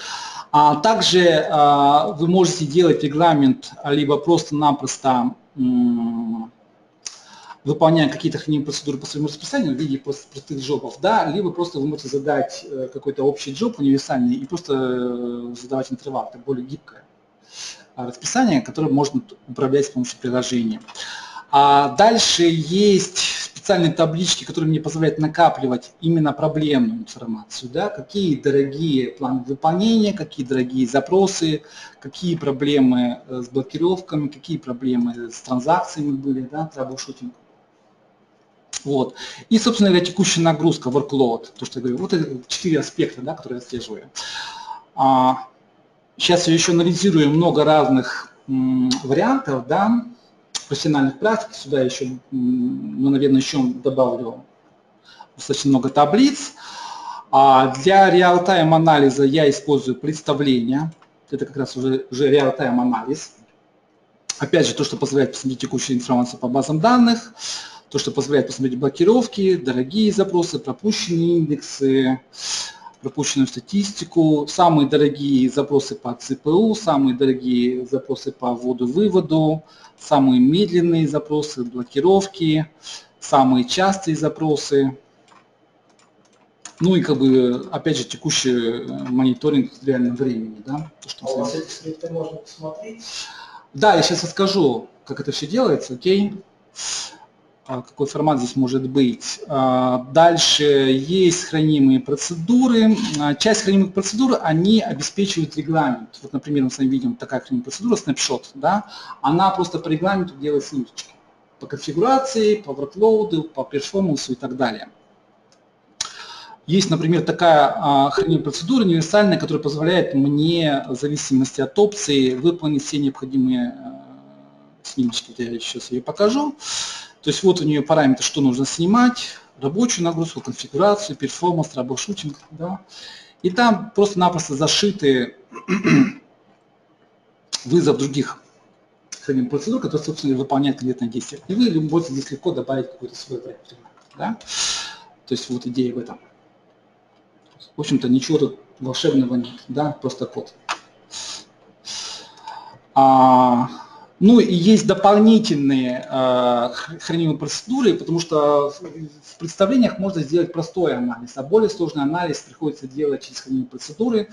Вот, например, э, статистический анализ э, запросов, которые вдруг начали работать медленно, да, deviation queries. Э, вот, например, тоже анализ э, тяжелых индексов, которые еще при этом не используются, да, то есть тормозятся транзакции, а для query они вообще не нужны, оказывается, да, либо фрагментация индексов, там, стоимость индексов и так далее. То есть, еще какие-то сложные анализы делаются в виде процедур. Ну так, в двух словах, да? Хочется пощупать, окей. Отличный вопрос. Да-да. Да-да. Есть ли какой-нибудь practice по использованию табличных функций? Но лично я табличные функции в LTP использую постоянно. Это моя любимая техника. Но аккуратненько, да, там надо делать. А? Аккуратненько, аккуратненько. Ну, во-первых, а, простые табличные функции, то, что называется inline, это же просто, как сказать, сахар синтаксический у вас в обычный вопрос, просто поставить все выражение, да, окей? Ну да. Это всего лишь упрощение синтезиса, не более того. А вот много инструкционные функции, там надо быть очень аккуратным. Okay? Вот они могут быть источником проблем на перформанса. Я обычно использую простые. Какие-то сложную обработку я прямо в хранимку запихаю. Там мне проще оптимизировать. Okay?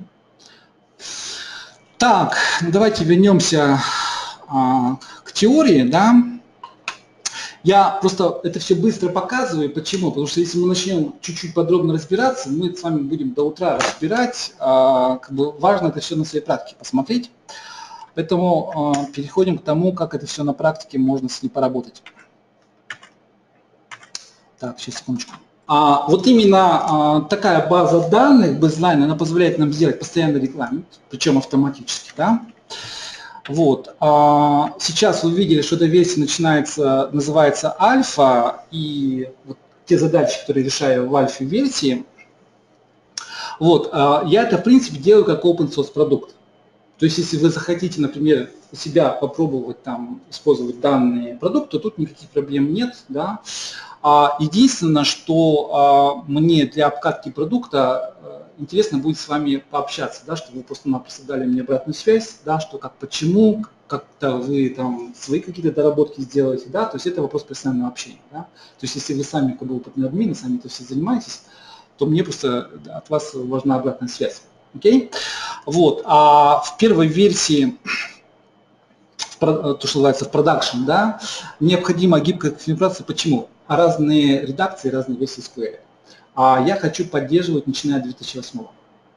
2008, R2, 12, 14, 16. Да? Здесь как бы для этого нужна гибкая конфигурация, чтобы эти все вещи поддерживались.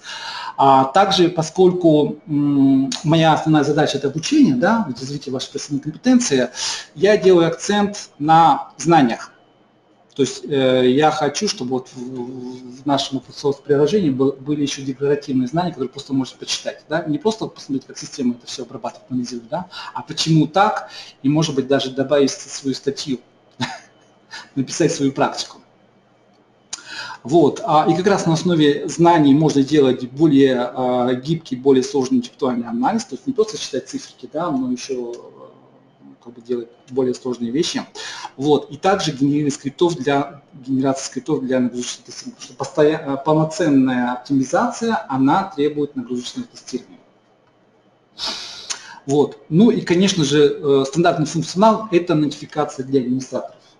Да? То есть мы сами не хотим постоянно, условно говоря, сидеть за монитором, мы хотим, чтобы система поддерживала проактивный какой-то мониторинг, поэтому такие извещения тоже можно сделать там в Искоре. Ну, Искоре поддерживает mail, это все можно сделать несложно на самом деле, да.